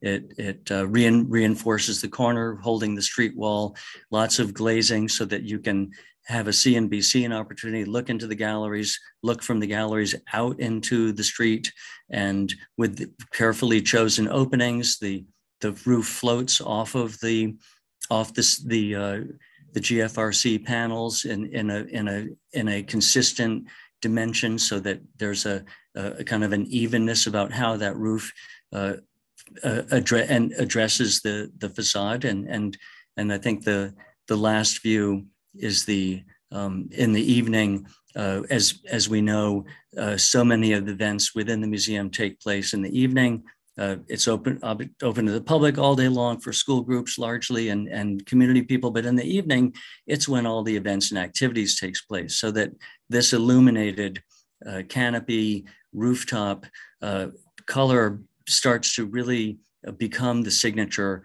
moment, holding the corner, uh, marking the entry point, uh, showing off the galleries from from from the Grand Concourse and and and talking to the the different scales that that a museum uh, like this needs to talk to the neighborhood, the community, the Bronx, the and and the the the the museums across the world are are uh, able to express themselves. I think that we've worked very carefully with Klaudio and and his team at, at the Bronx Museum, and Joe Mizzi is the chair. I think we're we're all very excited to to talk to you about about this design today. Thank you so much. Great, thank you very much. Commissioners, do we have any questions? Okay, I don't see any questions at this time. Um, so why don't we move to public testimony? We may have questions after that. If you're in the meeting and would like to speak on this item, please raise your hand so we can identify you. We will, as always, start with anyone who signed up in advance and then get to everyone else. Um, but please raise your hand whether or not you signed up in advance so we can identify everybody who wishes to speak. And I will turn it over to Gregory Kalla to take us through the testimony. Okay. Thank you, Chair Carroll. We received a few signups beforehand, so we'll be hearing from them first. Uh, the first signup we have is from Shirley Solomon, who will be reading testimony from both uh, Bronx Borough President Vanessa Gibson and City Council Member Althea Stevens. So, Shirley Solomon, I am promoting you to panelist right now. And if you could please state your name for the record and unmute your line, you'll have six minutes to speak. Thank you. Thank you. Can you hear me? Yes. Wonderful. Uh, thank you again. My name is Shirley Solomon, Bronx Museum of the Arts, and I would first start with the letter that we received in support from the Bronx Borough President. Um, I am writing in support of the proposed renovations to the south wing of the Bronx Museum of the Arts as it is currently proposed. In my current role as Borough President, as well as my former role as the council member of District 16, where the museum is located, I have been briefed on the project and have reviewed the proposed renderings, and I am supportive of this design. The Bronx Museum of the Arts was founded in 1971 and has been on the Grand Concourse since 1983, serving as an internationally recognized cultural destination. The proposed renovation to the Bronx Museum will allow the museum to serve more, more children and families while ensuring the arts can continue to be a powerful tool for sharing Bronx history, supporting education, and promoting diversity and inclusivity. It is important that the renovations create new and enhanced cultural space that will support the history and legacy of the Bronx while revitalizing the existing museum. I want to applaud Marvel Architects for meeting this challenge and finding ways the renovated space will function to support the diverse types of exhibits that will be on display. From an aesthetics perspective, I believe the proposed building will stand out in a way that will be that will complement the surrounding neighborhood and the design will enhance the Grand Concourse Historic District. I am requesting that the Landmark Preservation Commission support and approve this design so that construction can begin and the museum can stay on track for a 2025 reopening. Any deviation from the present plans will cause both financial and programmatic problems for the project. The Bronx Museum of the Arts has worked tirelessly to bring this project to fruition, and I urge the approvals by the LPC be granted expeditiously. Thank you to Chair Carroll and members of the Landmarks Preservation Commission for considering my testimony in support of the current proposal. That's that, and then I'll move on to the uh, the um, letter of support received from City Council Member Althea Stevens, who represents the 16th District in the Borough of the Bronx. Dear LPC Commissioners, I'm writing this letter to express my support and enthusiasm, enthusiasm for the renovation of the South Wing of the Bronx Museum of the Arts. This project will set is set to unveil the uh, potential of this longstanding cultural institutions and showcase its programs and exhibitions to local, citywide, and international audiences. It fills me with pride that this public, public institution is one of the few in York in city of New York to offer free admission, and the new architecture will embody the spirit of the Bronx, providing a warm and inviting space that uplifts its people and is accessible to all. I have been briefed on the project throughout the design process and have no doubts that it will bring a much needed upgrade for the location and will work within the landmark district. With this renovation, museum experience will feel more whole and cohesive and will leave behind the days of having a disjointed uh, building and campus. And with warm regards, Council Member Althea Stevens, District 16 of the Bronx. And that concludes my testimony. Thank you. Okay, great. Thank you so much for that testimony. And next up, we'll be hearing from Rachel Morris, representing Assembly Member Joyner's office. So, Rachel Morris, I will be promoting you to panelist right now. And if you could please unmute your line and state your name for the record, you'll have three minutes to speak. Thank you.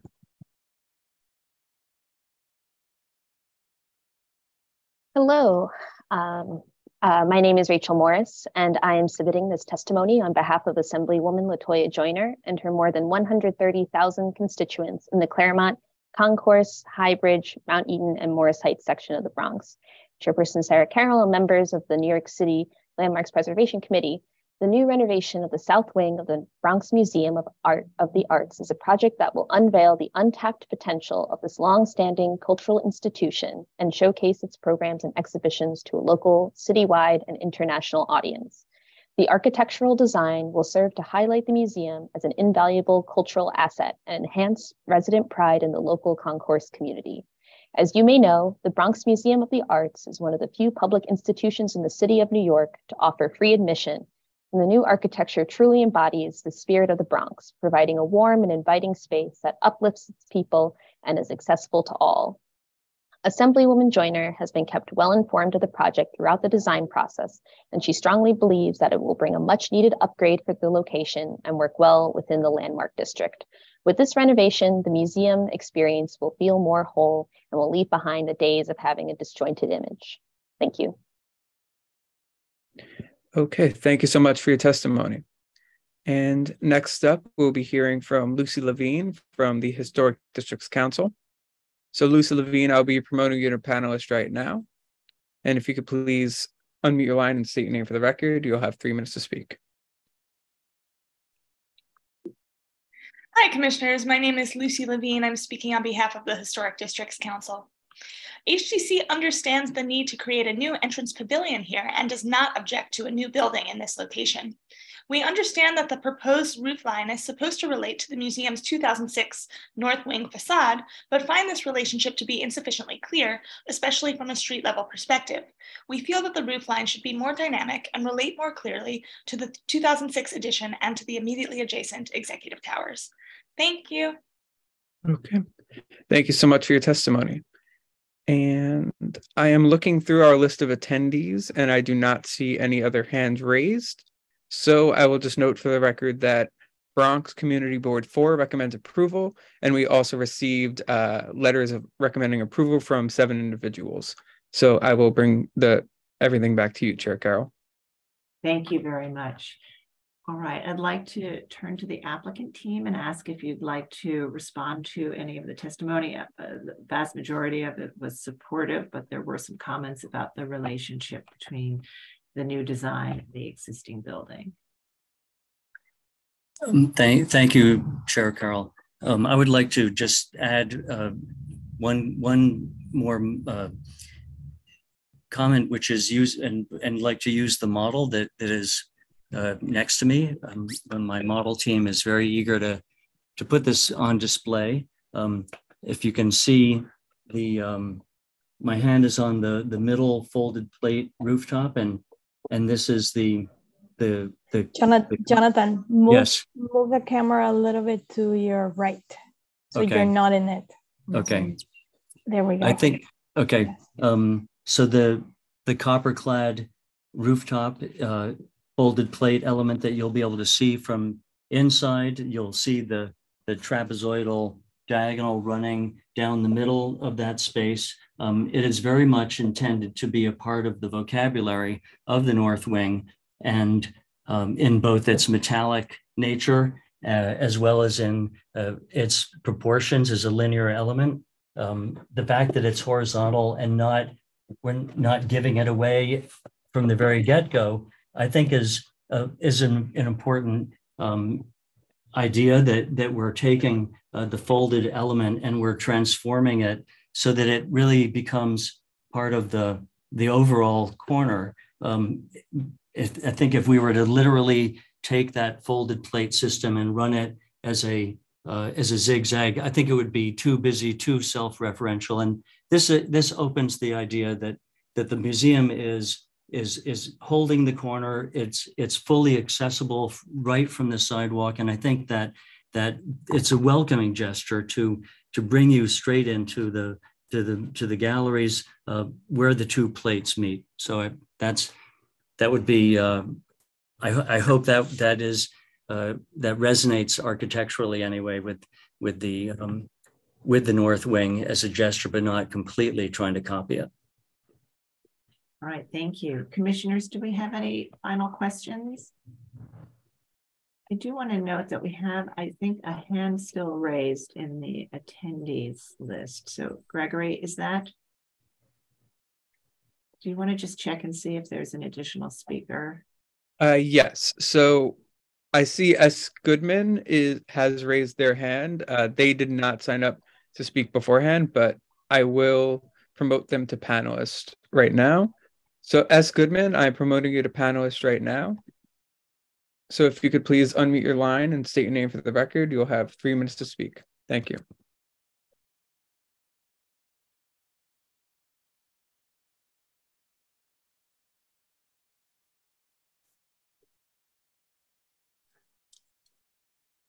Good morning, commissioners. Can you hear me? Yes.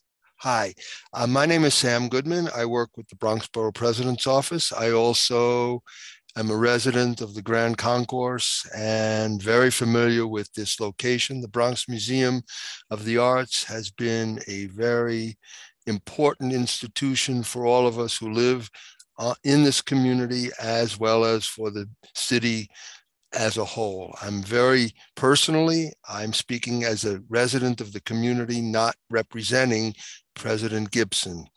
I have one question and then a bit of a concern that I'd like to share and I would appreciate response to.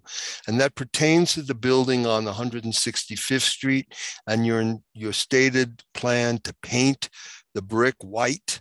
I'm concerned that over time that might in fact pose an ongoing maintenance challenge. And I'd like to be able to know from the architect exactly how that facade could be properly maintained so that the white remains white and doesn't wind up turning gray and dingy looking 10 or 15 years later from now.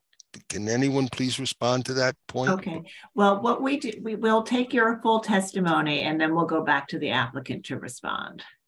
So okay, that that yeah. Th that's it. I just want to just have that one quick question. That's okay. all I have to ask. All right, great. Thank you. Okay. Great. Thank you so much for your testimony then. All right. Now, Jonathan, do you want to respond to that? Th thank you, Chair Carl, and thank you, Mr. Goodman. Uh, your concerns are valid. Uh, this is a stain white uh, coating that it's going to get, and it's I uh, over 35 years practicing in New York. It's the best ways to with paint, the, which are fantastic these days. Um, this this will be a paint that will have a, a, long lifespan. It's a paint that you can paint over quite easily. Um, it, it's a great way to uh, to keep the facade clean if it gets tagged on the ground floor. Easy to um, to maintain, uh, and and it can be washed uh, if it does get uh, gray with soot, as as buildings uh, tend to do. Uh, they require anything requires maintenance, whether it's uh, whatever color, whatever material, uh, these it'll it'll but it'll stand up over time, and it's and it, and it's a very uh, affordable way to to tie the campus together with the other masonry uh, facades and and walls. Okay, thank you. All right, commissioners. Again, any final questions? Please uh, raise your hand if you want to ask the team anything at this time before we begin to comment. All right, I'm not seeing any questions, so I'm going to ask you all to unmute so we can close the hearing and begin our discussion. All right, Commissioner Holford Smith, would you make a motion to close the hearing? So moved. Thank you. And Commissioner Jefferson, would you second that motion? Second. All in favor, say aye. Aye. Aye. aye. Any opposed?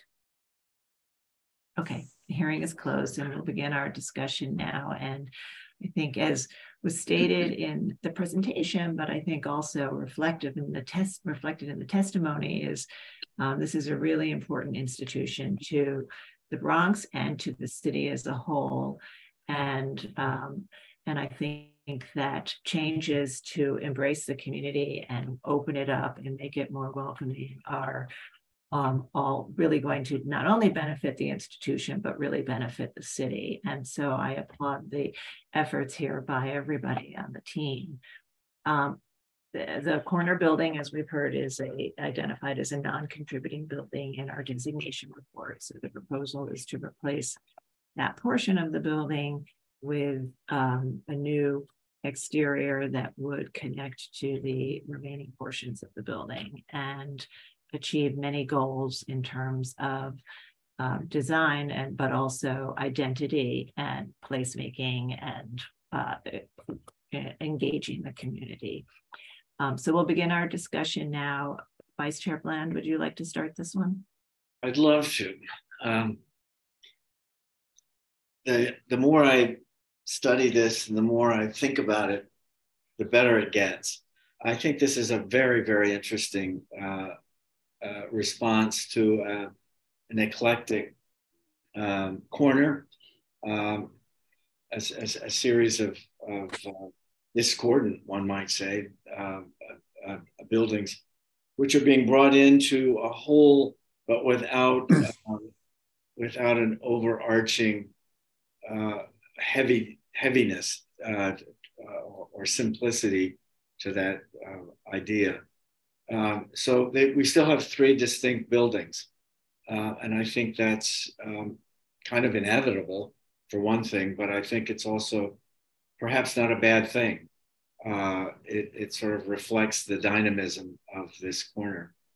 Um, uh, the, um, the, the folded plate idea, I think, is taking the vertical Arquitectonica folded plate and then making it horizontal and sloping it up like this at the corner is really quite inspiring. Uh, and the, the, the, copper zinc combo, uh, which will not patinate, is also, I think, uh, a terrific touch here. Um,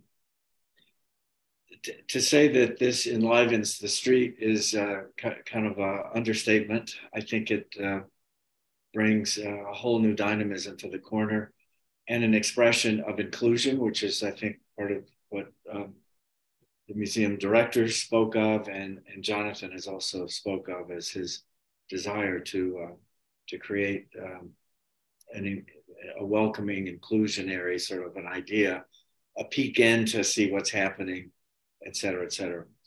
Um, so I'm really, I'm really loath to um, to fiddle around with the details in any way through my commentary. Not that I have the ability to fiddle around with them, uh, absolutely. Uh, but I think uh, this is a very personal, um, move by a, a, an excellent architect. So I don't have significant issues at all.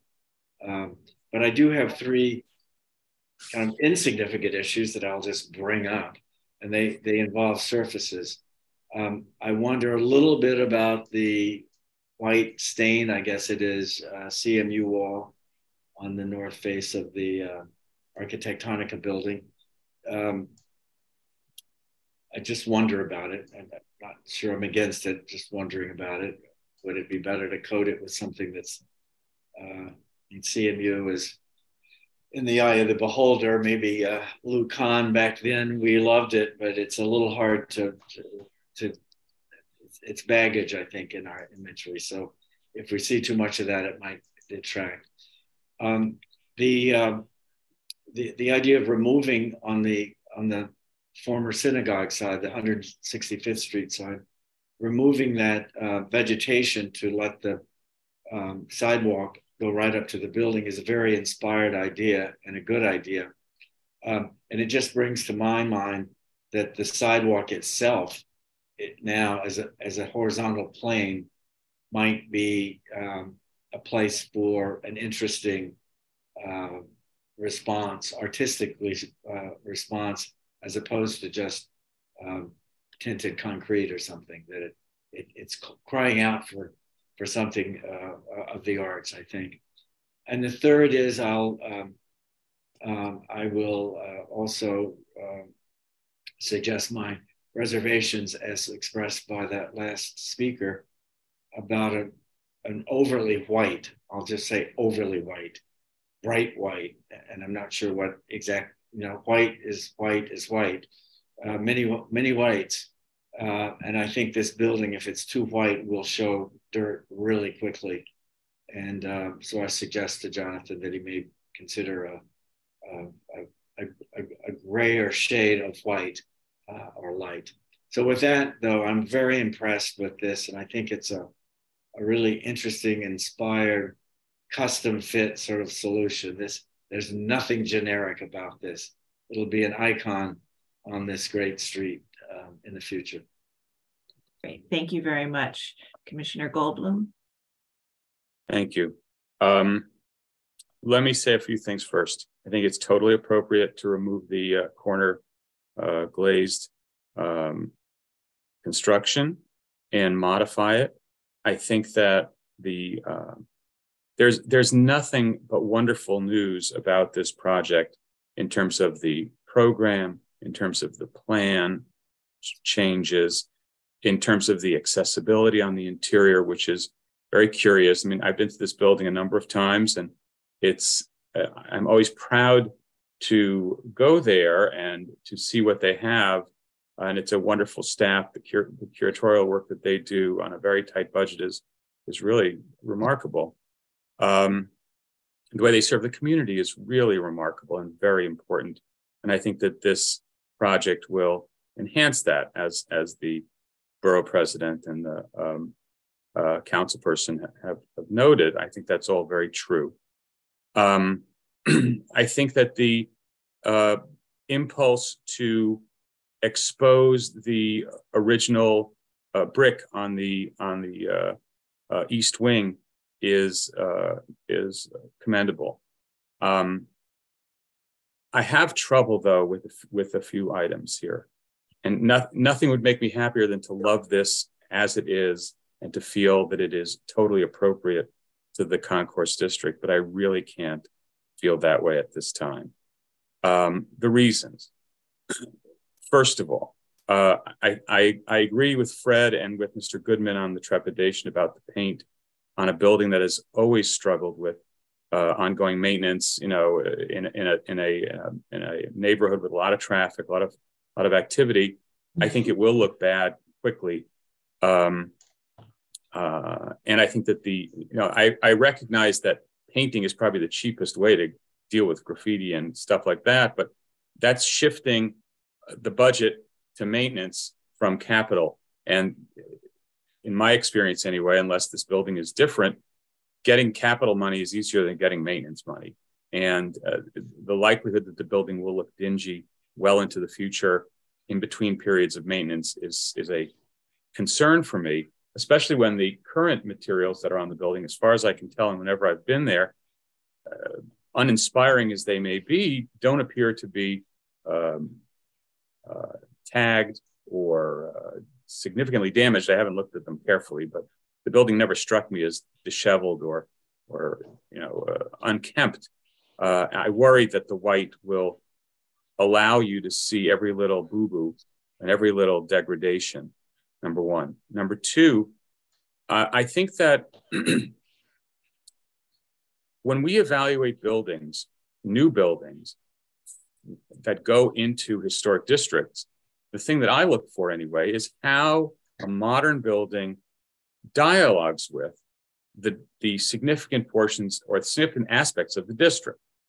Um, for me, this building's form dialogues the most with the executive towers across the street, which is, in my view, a building that is anomalous to the district.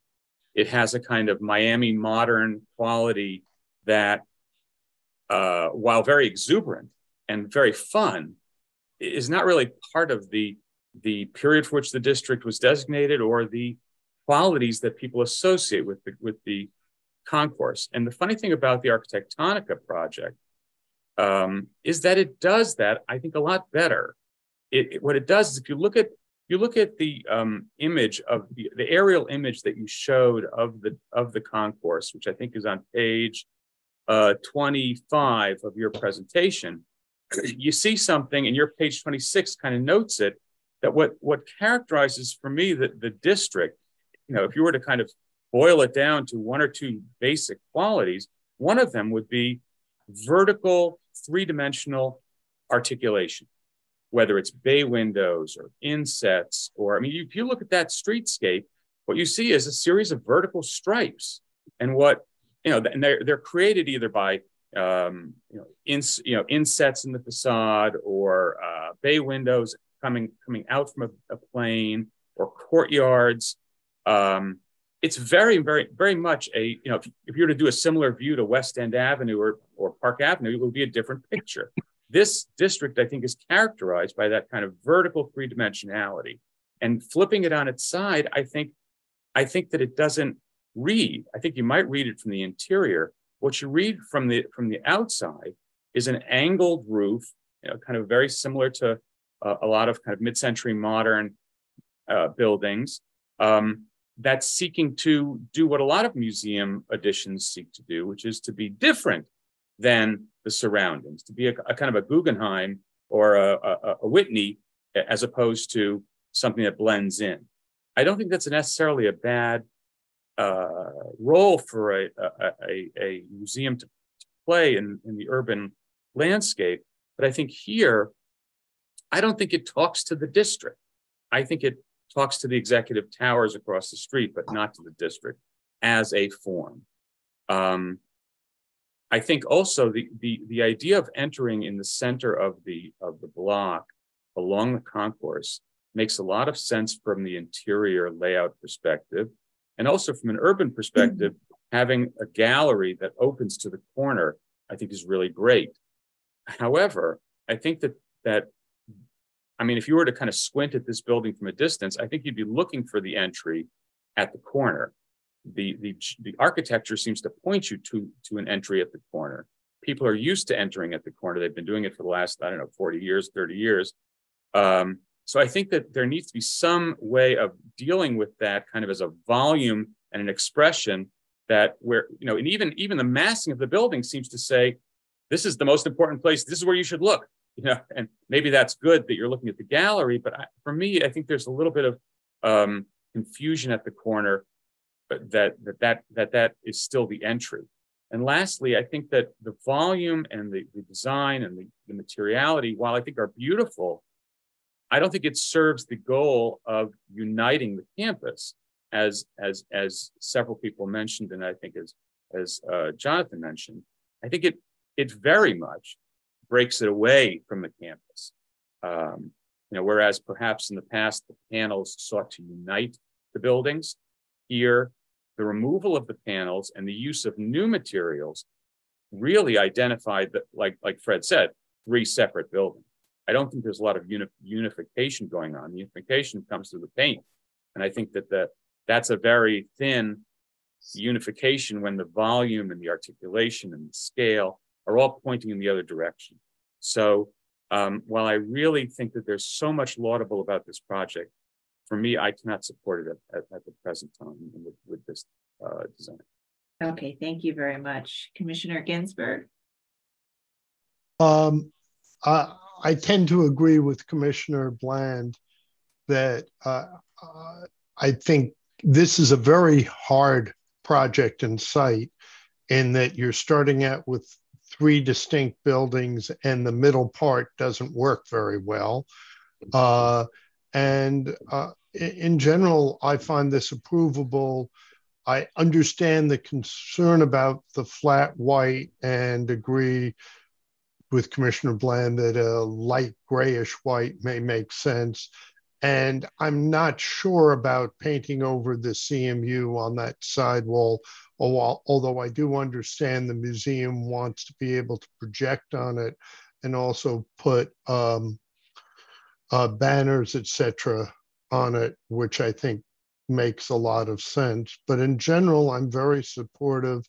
And I don't see a way that you could totally unify it or to make this a particularly vertical element given the massing without making a vertical addition, a much bigger vertical addition, which I don't think makes sense. So I, I can support it. Thank you. Great, thank you very much. Commissioner Jefferson? Um, I'm going to base my comments basically on the com- on the composition, and I think the composition makes sense. I think it it it holds the corner. The idea of the corner, which is dominant in the party, works. I think the big window works, and the the idea of trying to create a composition out of three separate elements is a difficult one here because the the the the new building is essentially a roof building. The roof is the dominant part, and the roof itself, angled uh, as a butterfly, can't hold together the two the two wings. Now, I think that can be solved. I think there's a way that perhaps they can extend it more, overlap more, but right now it doesn't do that. The other issue for me is the walls themselves. The, the, the dominant thing is the roof. The walls then are in competition with it. It has cutouts in it, it's exact the shape of it, the opening. It's competing and it's drawing complete attention to the new building and taking everything away from the two existing buildings. So how do you how do you play that to make the the, the corner building read the most and then give room for the other two? That's the issue that confronts the architects here. And I think they can solve that. I think the, the if the entrances are smaller or worked out in a different way, I think there is a possibility for this scheme. And I I I don't think we should I think the party here can be resolved in a very good architectural way. Okay, thank you. Commissioner Lutfy? Um, I think, and uh, I think that Mark Mark mentioned this, and maybe someone and other people did it as well. Uh, first of all, this is a very exciting project, as everyone has said. It's exciting for the city, its cultural landscape. This museum is very, very important in terms of its place in the city's uh, cultural sphere. And it's also critical not only to the cultural community of the Bronx, but the vitality of the Grand Concourse. And so And it's an important punctuation mark within this landscape. And so the this is a very challenging, I think it's a very challenging project and an exciting project at the same time, as every as other people have said.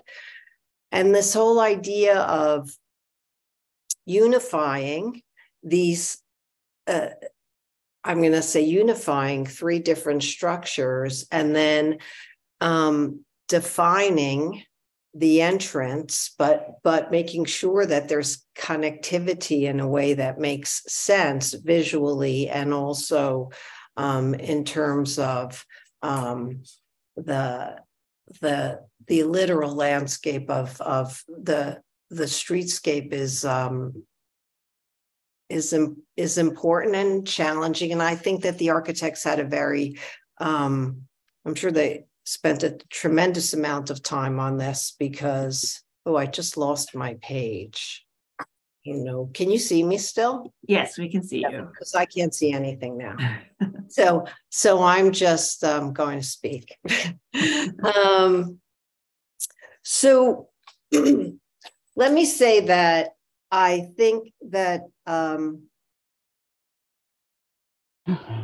it, it, so the, the project is extremely, um, I think it's uh, very successful in terms of, of one of its primary goals. This is not the first museum to have a, um, a problem uh, redefining or further defining where the entrance of, uh, of the building is. I mean, MoMA had this big problem. Um, and um, and the Brooklyn Museum sort of dealt with this in an in a in an important way. And I think the project is does a the architect does a very very good job of saying not only this is where you enter, but in in terms of making the entryway one that is welcoming, one that is porous, one that engages with the streetscape and one that as you're passing by, you definitely want to sort of, if not move, go in, go, get closer to see what's going on.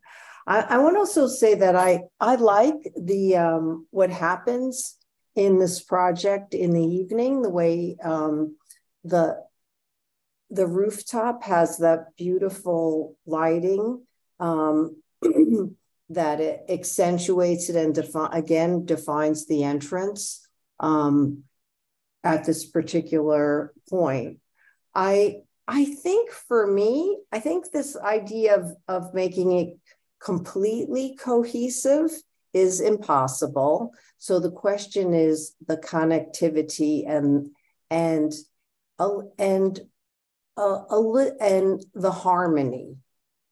Um, and I think my only issue is um, I have two two really. My only issue is maybe the materiality of the rooftop, and I I feel like the this particular material and this particular color are a little to me seem a little harsh and a little discordant and i would like to advise that um, that be looked at um, to see if it can, uh, so that the expression is still there, but so that there's more of a, so that it joins better with with the other two space, the other two pieces of the project. I also heard the applicant say, and I appreciate this, that this is not only about the present, but it's about making sure that this uh, this complex can be further expanded in the future as it needs to be. And I'm sure that was taken into account with this design. I also um, appreciated um, the comments about the paint and um, its uh, ability to be uh, to wear well over time. And so I, I would love it if the applicant could go back and look at that from a, a color standpoint as well, or just to ensure that that this uh, that that as this project, you know, ages over time, it will it will it will age well. And and Fred said one other thing which I thought was a really terrific idea. And I, I don't I don't know if I took this very literally, but Fred, if you were saying that it might be nice to have some kind of um, sculptural um, aspect in the front of the in that space in the building that is now more in the in the front of the building that's now more open. I think that would be a wonderful um, another wonderful punctuation point in addition to the complex. So that's it. Great. Thank you very much commissioner holford smith Yes, thanks. I agree. This is a very important project for the city um, and an important corner, and certainly a very difficult um, problem to solve. Um, but I, I, tend to agree with uh, the comments of uh, Commissioner Goldblum, where I um, I think that the the the emphasis on the roof plane um, and the relationship of that roof plane to the Arquitectonica building, um, it really won't be perceived from the regular passerby on the street. I think it's something that you see from above. Um, and I think that, that projecting deep overhang is also something that's very atypical of this district. And, um, you know, I, am not sure that it, I know its, its purpose is to try to you know, act as these wings that bring the three buildings together. But I feel like in a way it kind of pushes them apart. And perhaps that's also um, accentuated by the, the color and the material that's been chosen, which is very beautiful material, but I'm not sure um, how it really relates to the greater context here and the existing buildings. Um, I think Michael really hit nail on the head when he when he referenced that photograph of the Grand Concourse as a series of sort of vertical stripes, and that's really what you read is the the, the building masses, the recessed entries, and it's something that that the architects referenced in their um, in their presentation as well, but it doesn't come forward in this design. I don't I don't feel, um, and it even though it seems kind of intuitive, but actually I think it does come come forward in the Arquitectonica edition, even though those planes are all um, set at different angles. Um, so I not sure that I'm ready to um, support the application as it is right now. Okay, thank you. Commissioner Chapin. Uh, well, I'm very interested in the uh, discussion by all the architects. Um, my, I, I, I think I'm uh, most in sympathy with uh, Commissioner Bland's remarks. Um, and the only, I, I think that the design and the, the way they've used the planes and uh, tried to use the um, materials and color of it in general is trying to is trying to tie the complex together and i feel they've been you know largely successful in that uh, um, i could support the suggestions about maybe using a braid. I was thinking that if the uh, roof, instead of being bronze with a gesture to the Art Deco, since they're just making a ge- gesture to the Art Deco in the, the area, I think is not, isn't really working maybe. And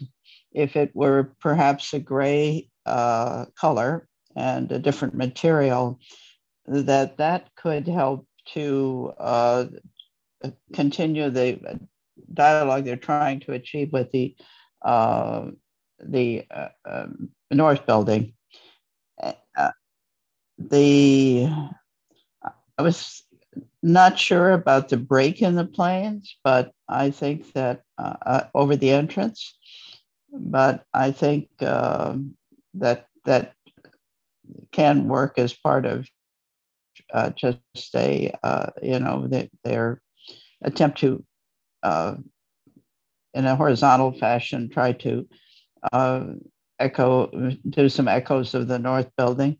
In general, I, I think, you know, I pretty much could approve this. And, and, you know, to me, it's just maybe working on the roof line, uh, the, the materials and the color of that expression, and that that, you know, maybe can respond to some other people's concerns too. I hope, but uh, in general, I think it's uh, it's uh, I, think it's rather is largely successful in trying to pull the campus together, which I think is important, and uh, repositioning the entrance and um, you know um, I think that the planes vertical and horizontal planes generally do work and the uh, material chosen for the new building and the treatment of that and also of the um,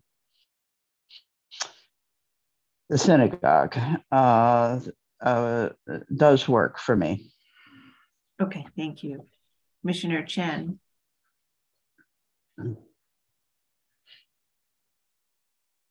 Okay If you're speaking, you're muted. Wellington? So I'm, uh, I'm unmuting. Yeah, so um, interesting discussion and interesting comments. Um, the um, I think the context here, first of all, I think it, it is a wonderful project, uh, however final shape it may come out to be. Uh, and this is indeed a very important institution. And I guess in the sense of if you're looking at the context of the Grand Concourse uh, versus a museum, um, museums tend to stand out, uh, whether you're Museum of Natural History or has been alluded to Guggenheim. Um, and and and, and I, I think the uh, the comments uh, seem to be falling into two camps. Um, the thing that comes to my mind in this sense is more like this is almost like a Le Corbusier, uh, Chapelle de uh, Notre Dame approach, right? Which is that you have a roof line, except it is far more in the hand of a capable architect, far more welcoming rather than a solid wall with a couple of punch openings. This is inviting the public in. It's very, very transparent. And coming from a culture that appreciate origami, the photo plane to me is intriguing. And I have no problem with the material. I think the material itself is actually quite appropriate. I think I tend to agree with uh, Mark and Vice Chair Bland that to tie it into this corner is not an easy solution. And I think you're in a way um, making reference and context to the other two buildings, the existing buildings, but integrating the corner. And and by definition, you know, whether you think it as a Guggenheim, whether you're thinking as any museum, it has to stand out in my mind at this moment. I, I don't know how, uh, uh, and and so I think that I I, I, I, I understand this approach, and I think it's been used successfully uh, elsewhere. Uh, and I, I, I, I, I also like the fact that they are, given the graffiti, they are they are treating the the uh, the surfaces with the uh, with the repellent first. And, and, the ability to power wash. Uh, I think that that. So I, I, would defer to the other commissioner. I will not play designer um, here. And I, I think the um, it, it's up to the commission. Um, it, uh, this is not a background architecture. Um, and so we had to decide on which side of the camp do we want to fall out of the bed from. Uh, and then go from there. And I think uh, I'll, I'll, defer the detailed comments to, to the rest of the commissioners. Okay, thank you very much. Commissioner Master? Um, very interesting comments. Um, what a very exciting project. Um, I want to commend the architects um, because they have such a challenging task here to try and, you know, combine these buildings um, and to try and, you know, make this an exciting corner to bring people in um, and to do something innovative. And I like it. Um, I think it's a very challenging task. I think a lot of effort was put in and thought in trying to tie this corner, trying to tie elements of the neighborhood and to, uh, I think, make it exciting for people to want to come and visit the museum, to make it welcoming, as Commissioner Chen said, and to raise interest and excitement in this corner. Um, I think it's very difficult to combine, you know, the three buildings. Um, and I know there's also been discussion on the color of the bronze alloy, um, that it really is a new aspect to this building. However, um, I think it's very warm. Um, I think, especially when it's lit at night, um, I think it's very welcoming and warm. So I like the color. Um, so I would find I I think I like it. I I, I can find it appropriate. Okay, thank you very much. All right, commissioners, thank you for your very, very thoughtful comments. I do think that um, the majority of the commissioners are really um, supportive of the approach here um, in terms of having a, a, horizontal plane because it is a lower building. It's, it's not a vertical building. Um, and having that uh, roof line work in the way that it does, opening up at the corner and engaging the corner. And um, I think it, it, while, while there's a lot of support um, for that, and I think others have talked about um, that sort of lack of verticality and rhythm not working within the, the his larger historic district, um, it does seem that the majority of the commissioners are comfortable with this not being a typical historic district building or having that strong of a dialogue because it already is sort of its own thing as an institution. Um, it already is a different form and stands out in the historic district as do institutions in many of our historic districts. And so I think um, that's why there is support for this approach. Um, but having said that, there were some comments that I think um, it would be great to have a little bit more uh, response to, and that would be the white stain on the CMU, the white paint. Um, some commissioners who were very supportive felt that could be a um, restudied as well, and maybe uh, uh, toned down to a grayer color, or thinking about the the uh, longevity of the paint and how that uh, what the right product is. Um, there were also some questions about the connectivity of the roof to the other two uh, distinct pieces. And um, I think that could be responded who are uh, in terms of thinking about its form, its length. Um, and by, when I say form, I think we were talking about the length and how it connects to the other buildings and or the color. So I think that there's a couple of ways that you can think about how this roof plane can have a stronger connectivity to the rest of the campus. Um, and I think the sidewalk is also an opportunity for some expression for the museum. And I think with some of those refinements, there would be support for this approach. Um, and it may be that in, in thinking through some of these refinements, you also um, find some creative and innovative ways to respond to the rhythm of the street that addresses some of the other comments, the people who were less supportive of the form. So we'll take no action today, but I do think that there is a, um, a, enough support for this approach with some refinements on the finishes and um, the, the connectivity of these elements to the building, to the adjacent buildings. And so we hope that you can make some of those um, changes quickly. I know that they will be thoughtful. You're very thoughtful in all of your work. And we hope to have you back as soon as you're ready. So we'll take no action today and we'll see you in the near future.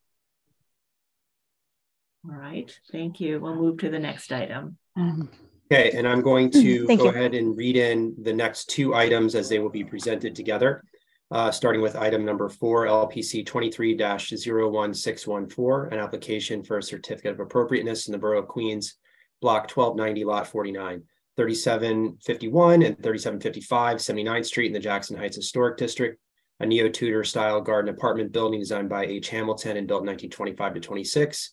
Application is to reconstruct and modify a courtyard wall. And uh, public hearing item number five, LPC 23-07281, uh, application for certificate of appropriateness number of Queens, block 1290, lot 29, 3752 at 3756 80th Street in the Jackson Heights Historic District. Also a neo-Tudor style garden apartment building designed by H. Hamilton, built 1925 to 26. Also, the application is to reconstruct and modify a courtyard wall. And commissioners, the uh, applicants have joined the hearing. Uh, you now have control of the presentation. Just click on the screen to activate and advance the slides. Uh, state your name for the record and you may begin.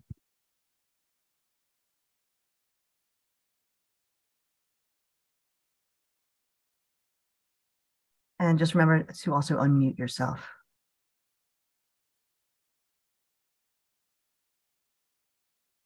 Oh, and if you could refrain from hitting escape, um, just use your arrow keys or the mouse. Thanks. Okay, can you hear me now? Faintly, could you please speak louder or adjust your microphone? Yes, can you hear me? Yes. Yes. Okay, thank you. Um, my name is Jasmine. I am here with uh, EDG and representation of um, SW Management for the project uh, mentioned before, 3755 79th Street and 3756 80th Street. Um, we are looking to um, widen existing archways.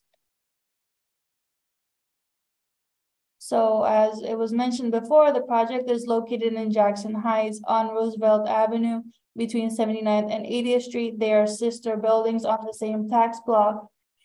Um, um, building was constructed originally in the nineteen twenty-five to nineteen twenty-six. It is a multi-family residential property here in Jackson Heights. Um, here are typical historic photos for 79th Street from left to right. You have the nineteen forties tax photo. In the middle, nineteen ninety-three designation photo when it's designated a landmark property.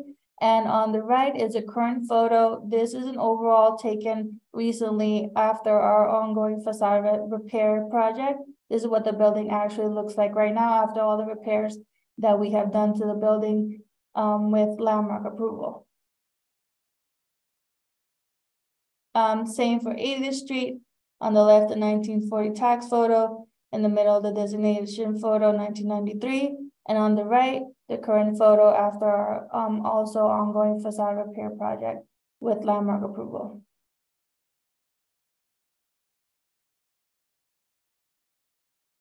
So here's the location of the proposed repairs. We are proposing to um, repair the archways on both buildings, one on 79th Street and one on 80th Street.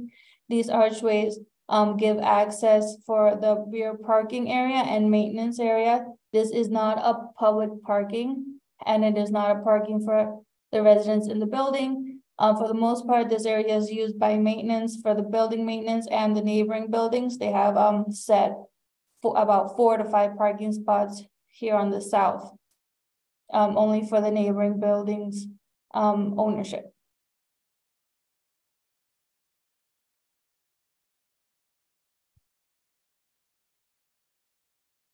So this is the current um, condition of the arch at 79th Street. Originally, our construction drawings showed that we were gonna be replacing marble units as needed and replacing the face brick at the arch. During um, construction, while the contractor started preparing for this work, we were able to see the extent of the damage of the existing brick and marble. Um, the contractors were actually able to remove these bricks by hand and once we noticed the extent of the deviation, we stopped all demolition. The arches are currently um, shored, and this is the existing condition. No more work has been done. As you can see in the photos, the brick was completely rotted, as well as the majority of the um, marble stones around the arches. Also, we have the the gate in the middle of the arch. So this arch leads into the back courtyard and connects to the 80th Street arch. This is the arch over at 80th Street, which you can see has been stuccoed or coated over the years. Um, light demolition had, had begun also over the sidewalk shed, but we had stopped immediately and it is not being short is not necessary at the moment. And um, we haven't done any more work here also.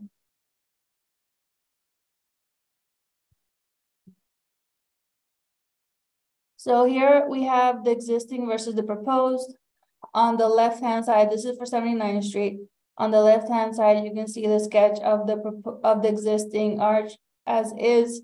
And on the right, we are noting um, which stones we were we need to replace um, and how we're going to be expanding the arch.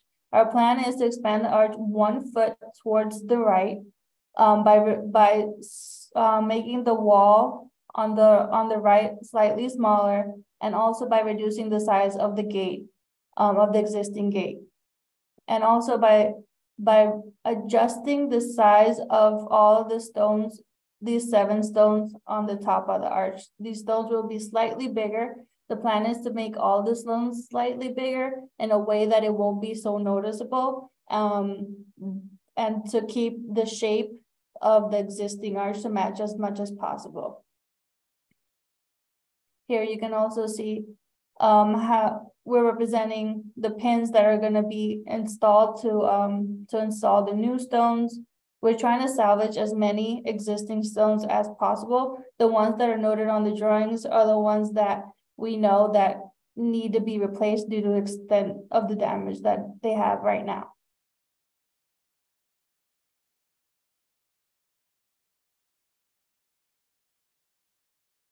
Similarly, this is for 80, 80th Street, but we will be extending the wall to the left existing right now, there is a brick wall between the arch and the neighboring property, which is also um, an SW management property.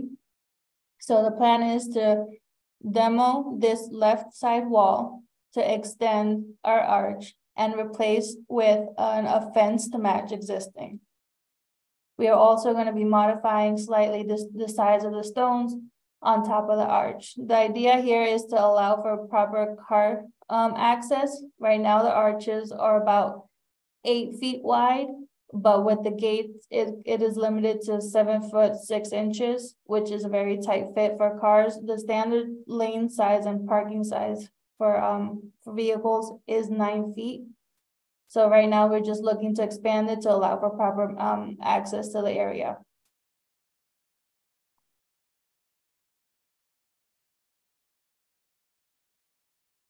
We will also be um, rebuilding half of the arch on 80th Street on the north side.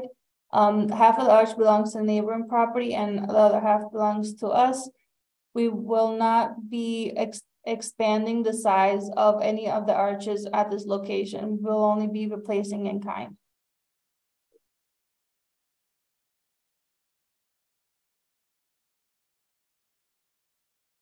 Here are the sample materials that we are proposing to use. Um, on the top picture, um, we have the brick sample, which was already approved by landmarks. This is the brick that we have been using at the front of the facade uh, during the facade repairs. Um, also, we will be using the Glen-Gery 406 that was also landmark approved that we have been using on the street elevation. On the bottom, we have the lamp, the marble samples. So the left photo is the a sample of the existing um, marble that was removed from one of the arches. And on the right is the match that we were able to find. So this is the, the sample that we want to use. And on the top right, we have a overall detail of how we will be installing these stones. So they'll be installed with quarter inch stainless steel number four eight stone anchors and epoxy.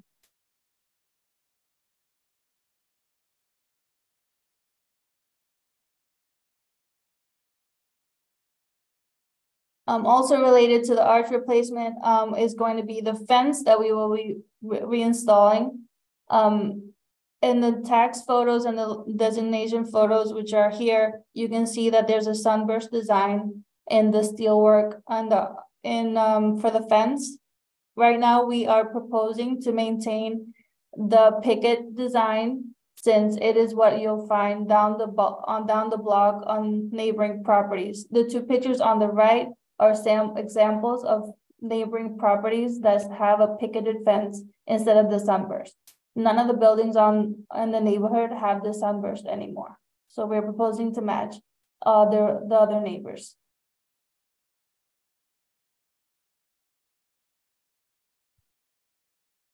That is all for my presentation. Do you have any questions?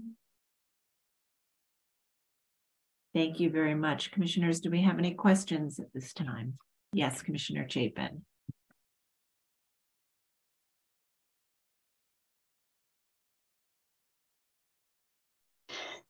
Yes, I just wanted uh, to, to inquire whether you had looked at uh, changing the operation and design of the gate uh, so to minimize the amount of widening you had to do because you say that the operation of the gate currently is part of the issue because it the way it's opening you've got a double you know a double gate as opposed to one swing gate. Uh, the question is whether there's a way that might uh, give you more room if you uh, did something with the gate. That that was the question I had. Yeah, so over on 79th Street, as you can see in the photo, the gate is actually inside of the arch. And on 80th Street, it is on the outside of the arch. Both arches itself, without counting the gate, is eight feet wide. Um, and the standard size for vehicles is nine feet. So even if we were to move the gate from 79th Street to the outside of the arch, we will still be a whole foot short from the standard size, which will allow the vehicles to come in and out easier. Right now, vehicles do fit, but it is an extremely tight fit, and they'd have to like close their um the mirrors to properly go in without um hitting the arches. Yes, uh, thank you. No problem. Okay, other questions? All right, I don't see any other questions at this time, so we'll move to public testimony. If you'd like to speak on this item, please raise your hand so we can identify you. And I will turn it over to Gregory Kalla to take us through the testimony. Thank you, Chair Carroll. We did not receive any signups beforehand, so I'll give one more moment to the attendees in the meeting to see if anybody wants to raise their hands. Um, okay, I do not see any hands raised. So I will just note for the record that Queens Community Board 3 recommends a, conditional approval so long as all wrought iron fencing outside of the rebuilt archway wall shall be adjusted to receive new opening infill fencing, and that new and large archway opening due to the proposed expansion shall receive a new wrought iron gate design, which is acceptable to the owner and LPC, not limited to pickets, hardware, and locking devices, etc. And I'll bring it back to you, Chair Carroll. Okay, thank you very much. So I'd like to turn back to the applicant and ask if you'd like to address the issues raised by the community board. No, we don't have any issues with uh with their comments. Okay. All right, commissioners, do we have any final questions? All right, I'm going to ask you all to unmute so we can close the hearing and move to our discussion. All right, and Commissioner Master, would you make a motion to close the hearing? So moved. And Commissioner Bland, would you second that motion? Second. All in favor, say aye. Aye. Aye. Aye. Any opposed? Okay, the hearing is closed and we'll begin our discussion. So at these two um, properties, the applicant would like to widen the archway to allow uh, vehicles to more easily move through the, al- the alleyway between. And that would involve uh, salvaging and doing some replacement material to enlarge it and uh, replacing the fences to match the existing fences. Um, so I'm going to actually ask uh, Commissioner Chapin if you'd like to start this one since you have the most experience with this district. a, blo- a block away from where I live, and I do walk by very, very commonly. And unfortunately, there are some situations with stuccoing and parging and uh, things that uh, have been on the front. I noticed some uh, of these buildings. I believe uh, they're also doing some other restorative work, which is good. Um, in any event, um, I- you know, I can approve this. It's uh, it's a minor. Uh, it, it's good to get the stucco removed where it's uh, uh, occurring, and also uh, to uh, if they're going to recapture as much as they can of the brick and the stonework here. There are some little medallions over the door arch, which I, I hope they're going to also preserve or, you know, replace uh, in kind there, uh, because I think that's uh, not original to the uh, I think was there, but I'm not sure. I'm not sure at what point those ended up being there, but I think they're kind of typical of the kinds of things you see uh, in the district. So I think uh, you know that the description that they've given of how they're going to proceed seems reasonable, and uh, I can understand that uh, because that is a vehicle access that they need enough space to bring the vehicles in, and it is obviously very very tight. And I think once the work is done, if it's well done working with the staff, that uh, the changes will not really be perceptible to anyone uh, walking by. So, uh, you know, I, I can approve it, uh, I think, as presented. Okay, great. Thank you. Commissioner Jefferson?